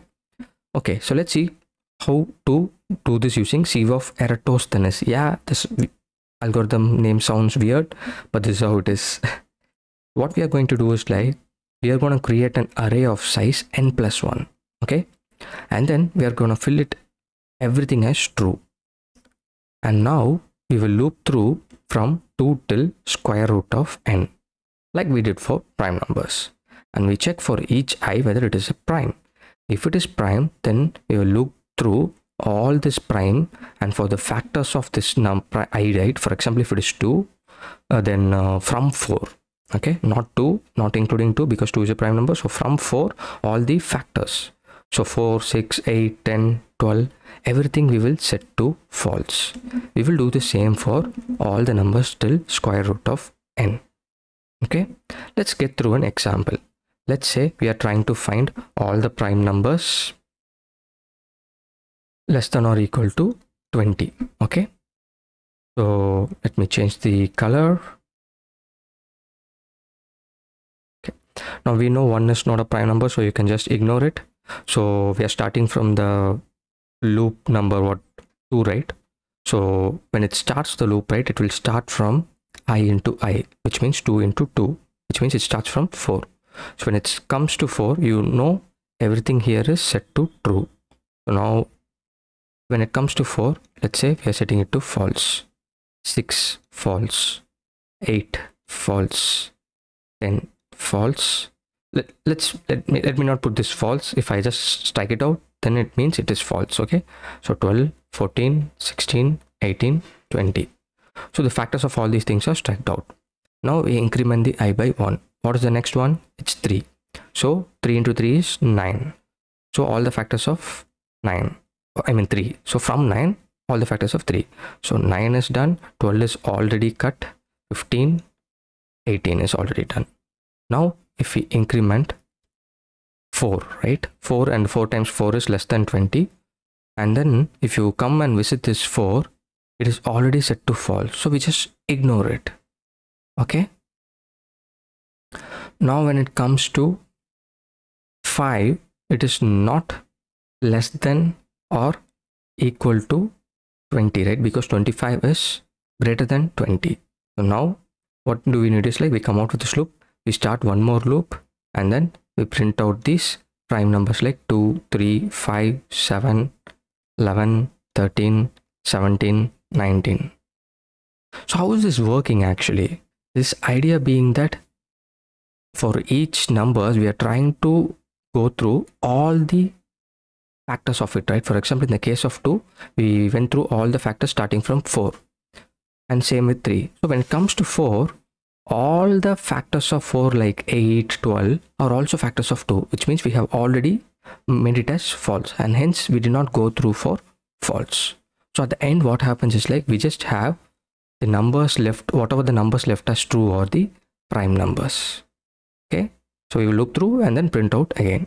So i hope you got the idea about sieve of eratosthenes so try to solve it on your own we will see you again in the solution video. Thank you. Welcome back. Hopefully you're able to solve the problem. If not, no worries. Let's try to solve it together now. So let me create a new function. Function sieve2. Now you know what why I gave the name as uh, sieve, right? It's sieve of Eratosthenes. Yeah. So sieve2. Now as usual, let's get the let output is equal to an empty array. And apart from that we will also create an array which called uh, is prime. And this is going to be of size. So i'm going to use new array method to create it. So to new array of num plus 1 okay? And then i'm going to fill it as row. Great. Okay so we have an array that is filled with true as well. Now what we will do is like we will run a loop. So for and the loop starts from 2 and then we do we go till i times i. That is square root of n right? So i times i is less than or equal to num and then we do i plus plus. And inside this what we do is like we first check if of is prime of i. If is prime of i is true so initially everything is true right? So initially when we go inside this and i is 2 so is prime of i is as well which is is prime of 2 is true as well. So now we know it is true. So what we will do? Now we will go we will start another loop which is let j and it starts from i times i which means in this case from 4 okay because i is 2 right initially to start off with. And it runs till j is less than or equal to num and then j plus equal to i. So which with each iteration we are jumping by i which means initially it is jumping by 2 so now inside this what i'm going to do is like i'm going to set is prime of j is equal to false what initially we are doing is that we are marking all the values of false which means we are marking it as false. It means that it is not a prime number. It happens for 3 and then it happens for 4 something like that okay? But when it comes to 4 right this prime of 4 is all, all already false. So it will not be this loop will not be getting executed. Cool. Now that we have marked all the numbers that are uh, not primes as false now when we come out of this loop and run another loop that starts from 2 and it runs till i is less than or equal to num and then i plus plus. Now what we do is like we check if is prime of i. If it is true then we know it is a prime number right? So output dot push off. So we do output dot push off i. And in the end we can just return this output great so that's all so now let's try running this program so sieve of 2 sieve of 2 sieve of 2 cool so now if you try to run this program, you see we get the same output. But in fact, we can make this even more concise. Let's see how to do that. So let me copy this and paste it as sieve3. This time, yeah, this all holds true. But this time what we are going to do is that we will run the loop from 2. But this time not i into i, but i is less than or equal to num and then i plus plus. Now what we are going to do is, we will remove the second loop we know before going you know like whenever this is, is prime of i returns true then it is a prime number right so what i'm going to do is like i'm going to push directly to output array so output dot push of i after pushing this prime number we also set all its factors to false. Okay? That's all actually to be frank. Nothing else. And one question you might have is like why are we starting from i into i? For example let's take the case of 3 right? It starts from 9 what about the previous numbers? Are they not do we need not consider that? The thing is all the numbers less than 9 in some way are divisible by numbers less than 2 i mean less than 3 sorry in this case it's just 2 right take the example of 6 6 is divisible by 2 and then become 9 right so this is the idea behind it and hence we can safely start from i into i okay cool so that's all for this video. See you in the next problem. Thank you. Welcome back to this next problem. This problem is about computing power. So let's see what this is about. For example, if I provide input x as 2 and n as 3, then the output should be 8. Why is that? It's kind of like calculating 2 power 3. So what is 2 power 3? It's 2 into 2 into 2. So 2 into 2 is 4, 4 into 2 is 8. Okay. And similarly, some more examples when x is equal to 5 and n is equal to 3 we are calculating 5 power 3 so 5 into 5 is 25 and 25 into 5 is 125 and when we do 5 power 0 it should be equal to 1 okay so this is the idea of computing this power and let's start off with the naive solution the clue for the naive solution is that we will just run a loop from 0 to n minus 1 or if you want from 1 to n and inside each loop inside this loop we will just do result is equal to result into x okay I hope uh, I have given you more than enough clue. Try to solve the coding exercise. We'll meet again in the solution video. Hey, welcome back to this video. We will try to solve the computing power problem in a naive way. Okay, so let me create a new file. So 11 computing underscore power dot js. Let me create a function called computing power and this is going to take x and then n which is x power n is what we are trying to calculate okay and then i'm going to initialize a variable called result and let's initialize it to 1 now let's start a for loop. This loop starts from 0 and it goes till i is less than n and then we increment i each time. And inside this loop what we will do is like result is equal to result times x. So each time we multiply the result by x. So how many times this x will be multiplied? N times. And at the end we are just going to return the result let's add some test cases. Console dot log. Computing power of 2 comma 3 let's copy it a couple of more times. And 5 comma 3 and probably 3 comma 0 okay? What are we expecting? The first one should return 8 second one is 125 and third is 1 right? Okay so node 11 computing power. Yes as expected that's the output. What is the time complexity of this? Time complexity is like we are trying to run this n times right? It's based on this n. So it's it's kind of like big o of n. And what is the space? Here we just uh, don't use much space apart from this constant result. So i mean one variable result. So we can say the space complexity as big o of 1 okay? So in the next video let's work on this in a more efficient way welcome back to this efficient solution.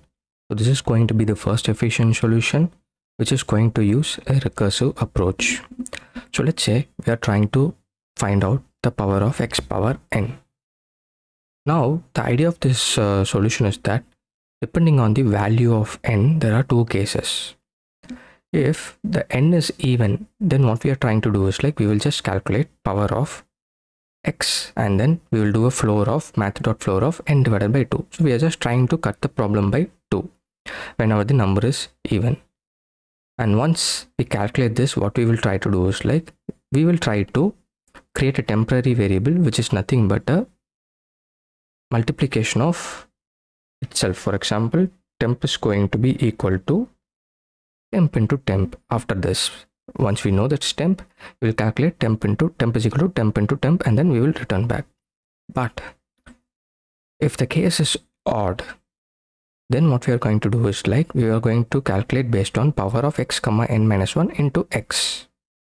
It's correct right? Because we know odd is like for example in the case of 2 power 3 right? The solution is going to be 2 power 2 into 2 and in order to calculate power of 2 comma 2 we can make use of this even case. Okay? And at the end we are just going to return the value. So in order to give you a more clear picture power of 3 5 3 comma 5 is going to be power of 3 comma 4 into 3 and 3 power 4 is going to be power of 3 comma 2 into 3 comma 2 so let's get to an some idea about uh, how this recursion call stack is going to be.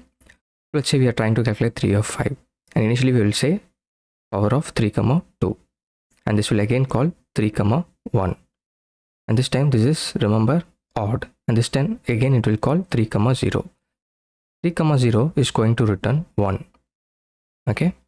And this is going to return again. 3 comma 0 is 1 into 3 to the parent. 3 comma 1 3 comma 1 if you remember what it will do is like it will again return 3 into 3 right so we have the return value of 3 and then it returns 3 into 3 and in the main function what we are going to do is like it's going to call 3 into 3 since it's odd right? 3 comma 5 so we are going to return 3 into 3 3 into 3 and then 3 okay this is how the whole solution is going to work. If this is a little bit confusing don't worry. We will tackle this in the solution video. Please but please take this idea and try to solve this on your own in the solution video. Okay, welcome back to the recursive efficient solution. Let's tackle this. So let me create a new function. So function computing power 2 of x comma n. Okay, and inside this initially what I'm going to do is like I'm going to add the base case. So here the base case is if n becomes equal to 0. If it is 0 then we will just return the 1. So this is the base case next what i'm going to do is like i'm going to create a temp variable and then assign it to computing power of 2 we are just calling this function recursively. So x will pass the x but this time i'm going to do math dot floor of n divided by 2 so this will keep on running until computing power or n becomes 0 right? We will come back to this again now once we are out of this what i'm going to do is like i'm going to say temp is equal to temp times temp. Okay now that we have this temp dot temp what we can do is like if n percentage 2 if n is divisible by 0 basically if it is equal to 0 triple equals then we know we have an even power which means we can just return the temp if it is an odd power, then we will return this temp multiplied by x. Okay, that's all actually the problem is. So let's copy this test cases. Let's try to run this node 11 computing power. Yeah, we get the same output. So basically what's happening is like initially, let's take the example of 2 power 3 or maybe 3 power 5 itself, right? From what we see here 3 power 5 so we come here n is not 0 it's 5 so we call computing power of 3 comma n by 2 5 comma 5 by 2 is 2.5 and at flooring it gives us 2 so we just call back power of 3 by 2 so it will again call itself n is not 0 this time it will be computing power of 3 comma 1 so 3 comma 1 is called. And again this will be called computing power. This time 3 and then 1 by 2 is 0.5 and hence flooring it will become 0 so when calling power of 3 dot 0 again this times it comes inside this base condition and hence it returns 1 okay?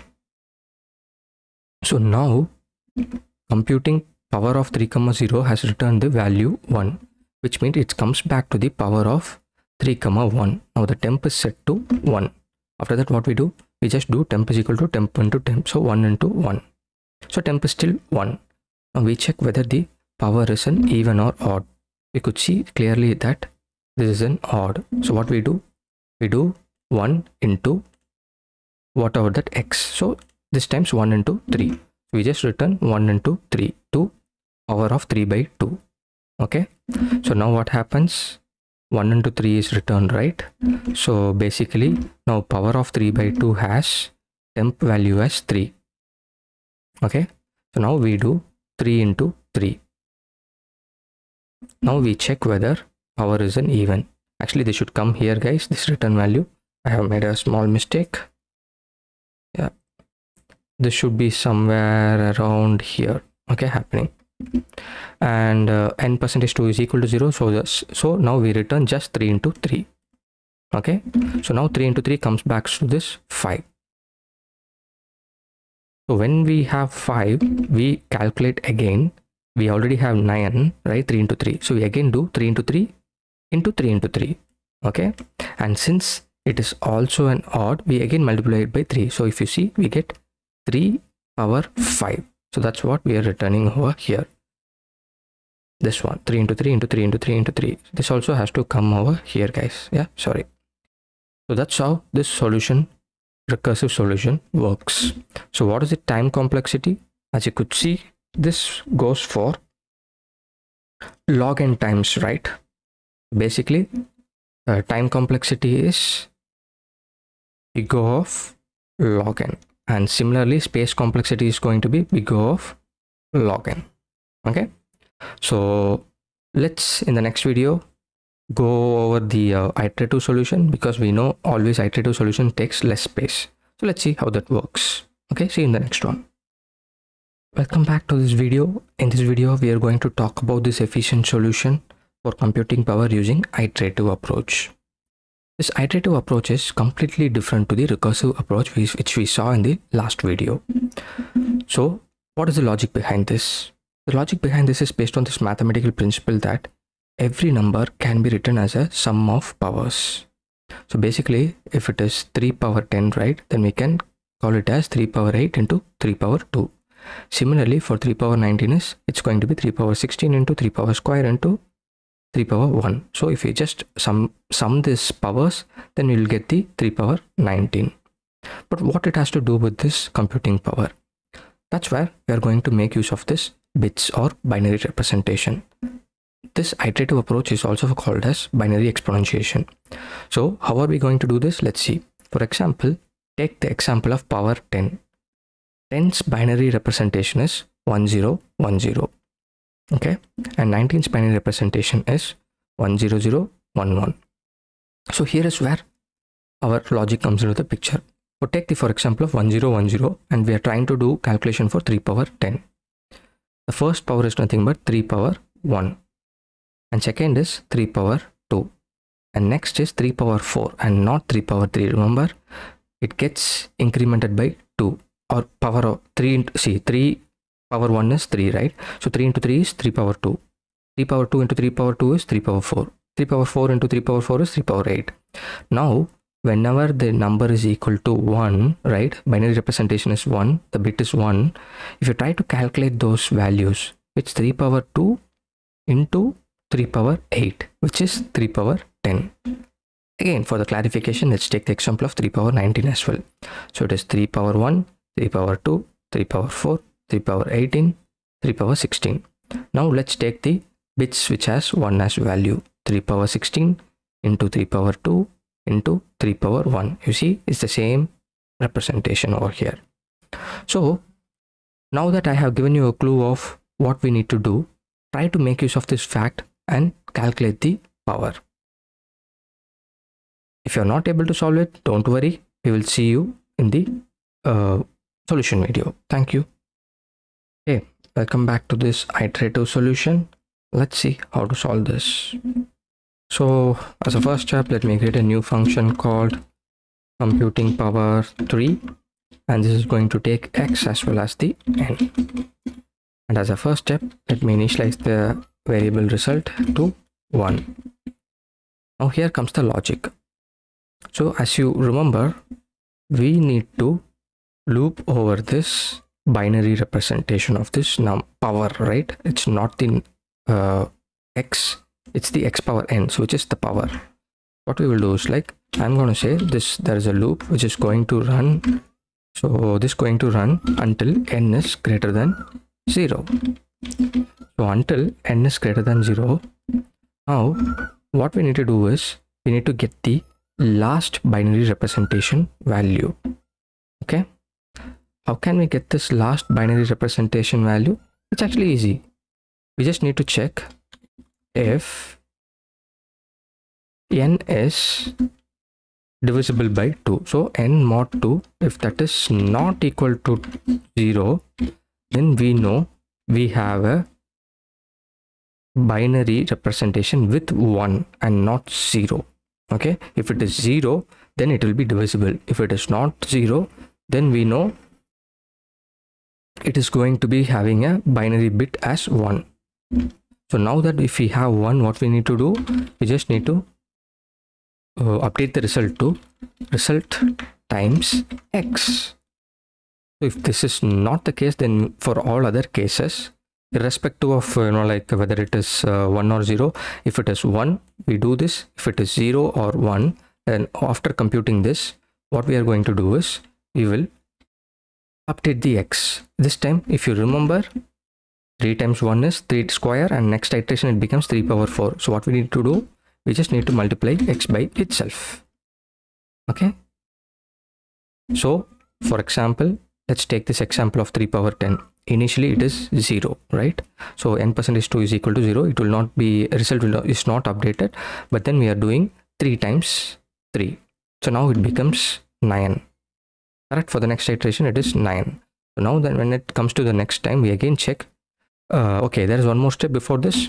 If you see, now we have calculated this last binary bit. So now we need to move to the next bit. We need to get rid of this bit. So in order to do that, if you have been uh, familiar with high school mathematics, right? How do we get this binary representation? For example, take 10. We divided by 2, we get 5. And we again divided by 2, we get the uh, 2 and then 1, right? We again divided by 2, 1, 0. So this time 0. So if you see, we are getting 1, 0, 1, 0. So as you could see, we just need to divide the number by 2 in order to get the last bit out. So what we will do here is that we will also follow the same. So n is equal to math dot floor of n divided by 2. Now when it comes to the next iteration it will check whether it is uh, not equal to 0 if not equal to 0 then the result is updated. And again we multiply it by x into x which means if it comes as 3 power 2 the next iteration will be 3 power 4 so we're just trying to increase the power by 2 okay? Cool. So that's all. So let's try to update the test case and see whether everything works fine okay looks like i have made a mistake. Oh okay. It's capital m. Okay i haven't returned the result so return result. Now yes as expected 8 125 and 1 what is the time complexity of this approach? This is also going to take log n times but the space is big of 1 okay? Great. So see you in the next video. Thank you. Hey welcome to the uh, solution for practice problem 1 which is about absolute value. So let me create a new file. 12 absolute underscore value.js and inside this i'm going to create a function called absolute value and let me take the num as an argument. And it's as simple as just returning. If num is less than 0 so we do a ternary operator. And if num is less than 0 i just return minus of num. So minus of minus becomes plus. If not we just return the num. So let's add some test cases. So console.log absolute value of minus 23 and probably let me copy this again. And if i pass just 23 as well it should give me some 23 so let's try running this. So node 12 absolute value.js yes it works as expected. Hope you are able to solve it as well. It's a simple one. See you in the next video. Yeah welcome back. So welcome back to the solution of the problem number of digits in a factorial this might look very simple at onset but there is some trickiness to it. Because you know like in computers uh, in programming languages like javascript integers can take up only a maximum of certain number of numbers right? There is a maximum value a number can go up to. So we need to solve this by making use of the fact that there is a maximum value and hence if you do it the usual way of doing factorial this might be overflowing and sometimes you might have seen an error. So how are we gonna solve this? So let's first understand. For example let's assume i'm giving a number something like 5 and its factorial is 120 right? So we need to return the number of digits. So the output is 3 great.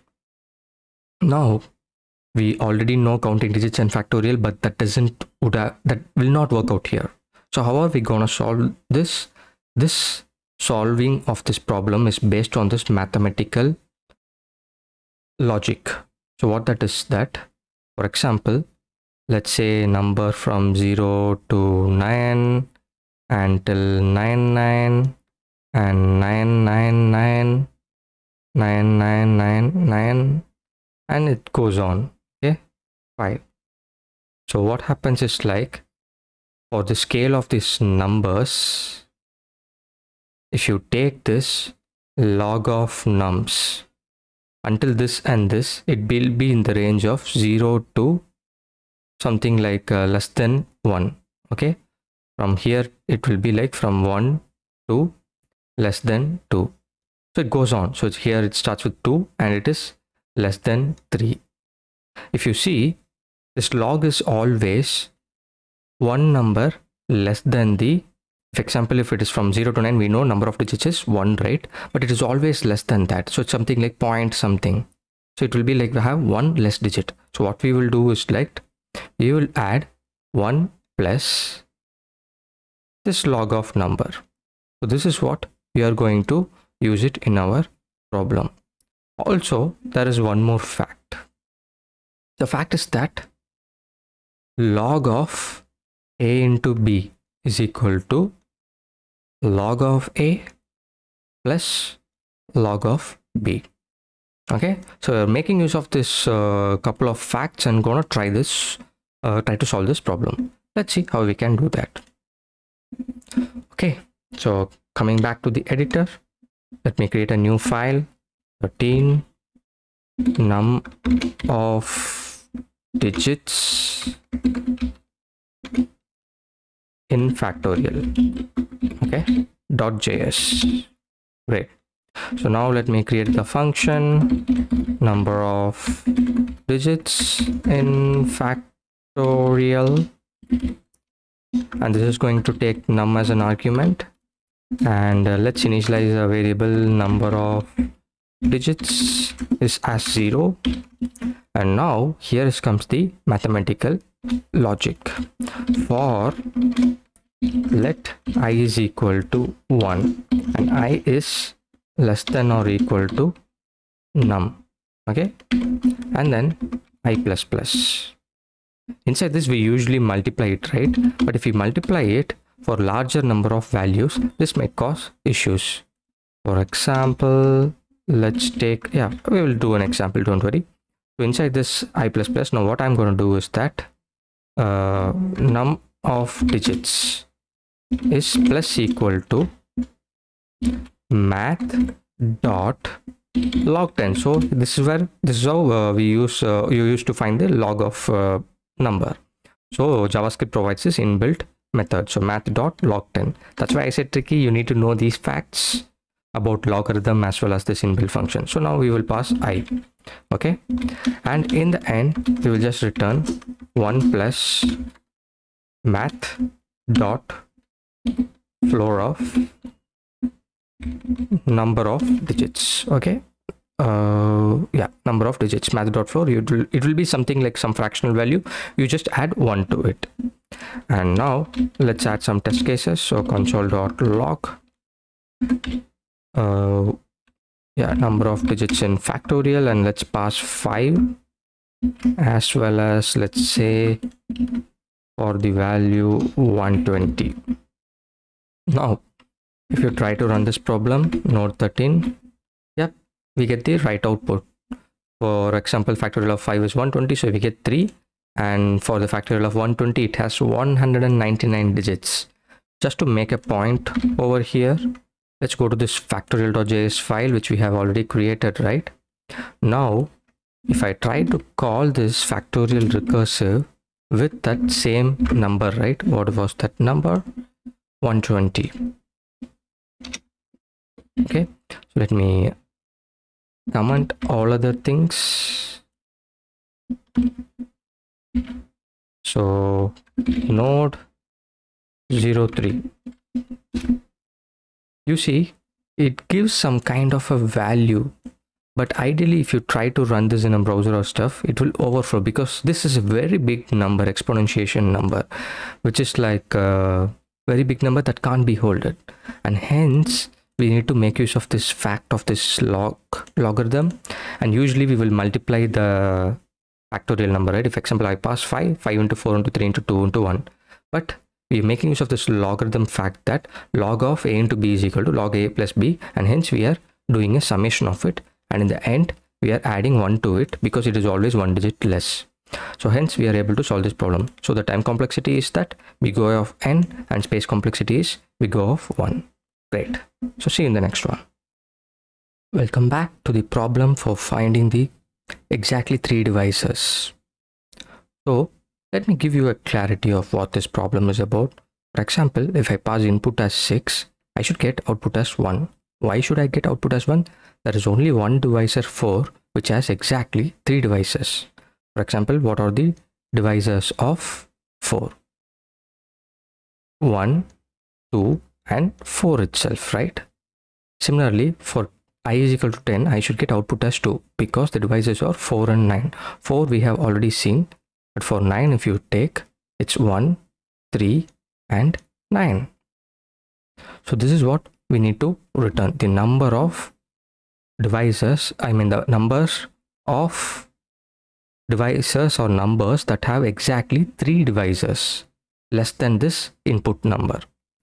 So now that we know this 4 and 9 what are the uh, divisors could you get any kind of correlation between this if you see all the number starts with 1 correct? And then it has a prime number in this case 2 and 3 and if you see the third divisor they are all are squares of it. So 4 and then 9 so whenever there is a perfect square within this range which is less than number then we can say that that perfect square have exactly three divisors like 4 and 9 over here. These are perfect squares meaning 2 square 3 square right? Especially perfect square is nothing but it's the prime number square. For example take the case of 25 right? 25 as well 1 and it is divisible by 5 and then 25 right? 5 square 25 okay? So hence we say 5 is also perfect square. So perfect square is nothing but the prime number square so now it's clear right what we need to do. So we just need to run a loop from uh, 2 till square root of n. And if it is uh, prime then we have the perfect square. How can i say like if it's a prime we can uh, say it's a perfect square? Because we are running this loop only till square root of n which means whatever the square uh, square roots or prime numbers which we are finding within the square root of n they're gonna have a perfect square. So that's the reason okay cool. So let's try to write this program. So let me write. So basically uh, let me create a new file 14 okay uh, three divisors. Dot js okay let me create a function called exactly three divisors and then we will get the num. And inside this we need to make use of the is prime right? So let's go here and uh, we will copy this function because we need to know whether a number is prime or not. Let's not uh, recreate it because we have already done so right? And now since we are here first thing we need to do is like let count is equal to zero because we are just initializing the count. Now what we will do is like we'll run a loop from for let i is equal to 2 and then it will run till i times i. This is what i meant by square root of n. Less than or equal to num and then i plus plus. Inside this loop what we will do is like we will check if is prime of i if that is the case then we will do count plus plus. And in the end we will just return the count. Okay? So let's add some uh, console log. So console log exactly three divisors. And uh, what are the test cases? Uh, let me see. Yeah first add let's add a test case exactly three divisors of six. And we are expecting it to be one and the next case is 10 and let's add one more case something like 25 okay? Great. So now if we try to run this program node 14 three divisors.js we get the output as we have one for six which is correct. And then we have exactly three divisors 10 for uh, for 10 it is 2 and then for 25 it is 3 for 25 it is 3 right? How it is 3 so basically the numbers that can be come come inside the square root of uh, 25 is 1 2 3 4 5 1 is not a prime number so leave it. So if you see 2 is a prime number correct? And uh, 3 is a prime number and 4 is not a prime number 5 is a prime number. And hence we get the output as 3 so all the prime number squares is the output. Great. So this is the solution for getting the exactly three divisors. That basically the idea is to get the perfect squares. Perfect square is nothing but prime number squared. Okay? Prime number squared has only three divisors. That's the idea. Great. Thank you and before that one more thing. The time complexity of this approach is basically if you see this code prime number is going to take how much square root of n right? And here we are also running a uh, another uh, till, uh, loop till square root it's kind of like uh, big o of n power 1 by 2 into 1 by 2 i guess probably yeah n by 2 n, n power 1 by 2 into n power 1 by 2 so that is the time complexity in auxiliary space. It's big o of 1 okay? So it's big o of n power 1 by 2 into n power 1 by 2 uh, because here as well we are doing an uh, i into i and here as well inside as well we will do a same operation. So that's a big o of n power 1 by 2 into n power 1 by 2 for time complexity and we just use one variable count and uh, nothing uh, other than that. So it's big o of 1 for space complexity. Okay? Okay. Thank you. Okay. Welcome to this problem. This problem is i would name it as modulo addition. I mean when i gave you this problem you might have thought like it is really really straightforward. But the thing is, it not the case. It is not the case. Of course, the problem is as such is very simple, but you need to know a trick to solve this problem. So what is the trick is about? It's called modulo addition. So basically, if you're trying to add some two big numbers, then there is a possibility that integers might overflow. So in order to prevent that overflow, what we usually do in this method is that we use this trick called sum modulus 10 power 9 plus 7 okay even i'm not sure what is this uh, 10 power 9 plus 7 is all about but it's the convention which people are using so we do a modulus modulus of sum with 10 power 9 plus 7 and we also make use of this distributive property. For example if you want to do a plus b percentage c right? Sometimes if you just do a plus b first then this itself might be overflowing. In order to avoid that what we can do is that we do a modulus c and b modulus c and we add it together and then we do again a modulus c. Okay? So this is the distributive property which we will use to solve this problem. So let's solve it so let me create a new file. Uh, 15 modulo addition dot js okay? So function modulo addition and then we will get two numbers. Let's give it as a comma b okay and now what we will do is like let's get the modulus value out of the way. So let m is equal to i'm going to use math.pow 10 comma 9 and then i would say plus 7 now i will just return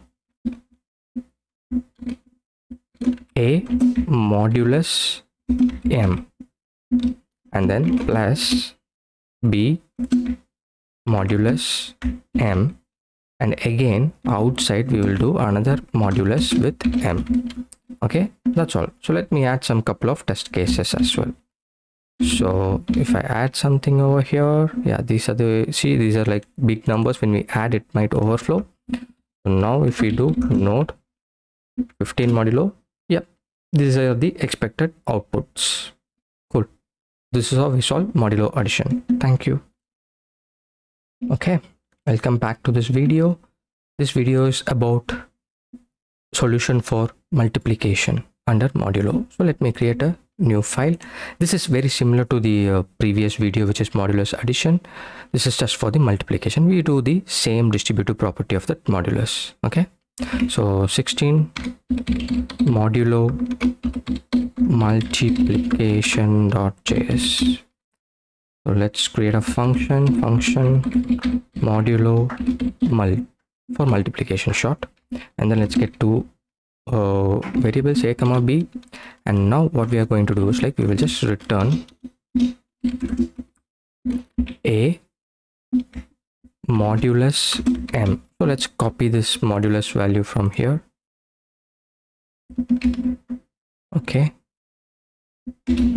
So now a modulus m multiplied by b mod m. And then again outside we will do mod m. Now let's add some couple of test cases. We will use the same thing okay? So we will just do console.log of these big numbers. Cool. Now if you try to run this program no 16 right? 16 modulo multiplication modulo addition. Oh sorry. I need to change this right? I just copied and forgot to change this. Yep. We get the output as 311 something and then we get 0 cool. So see you in the next video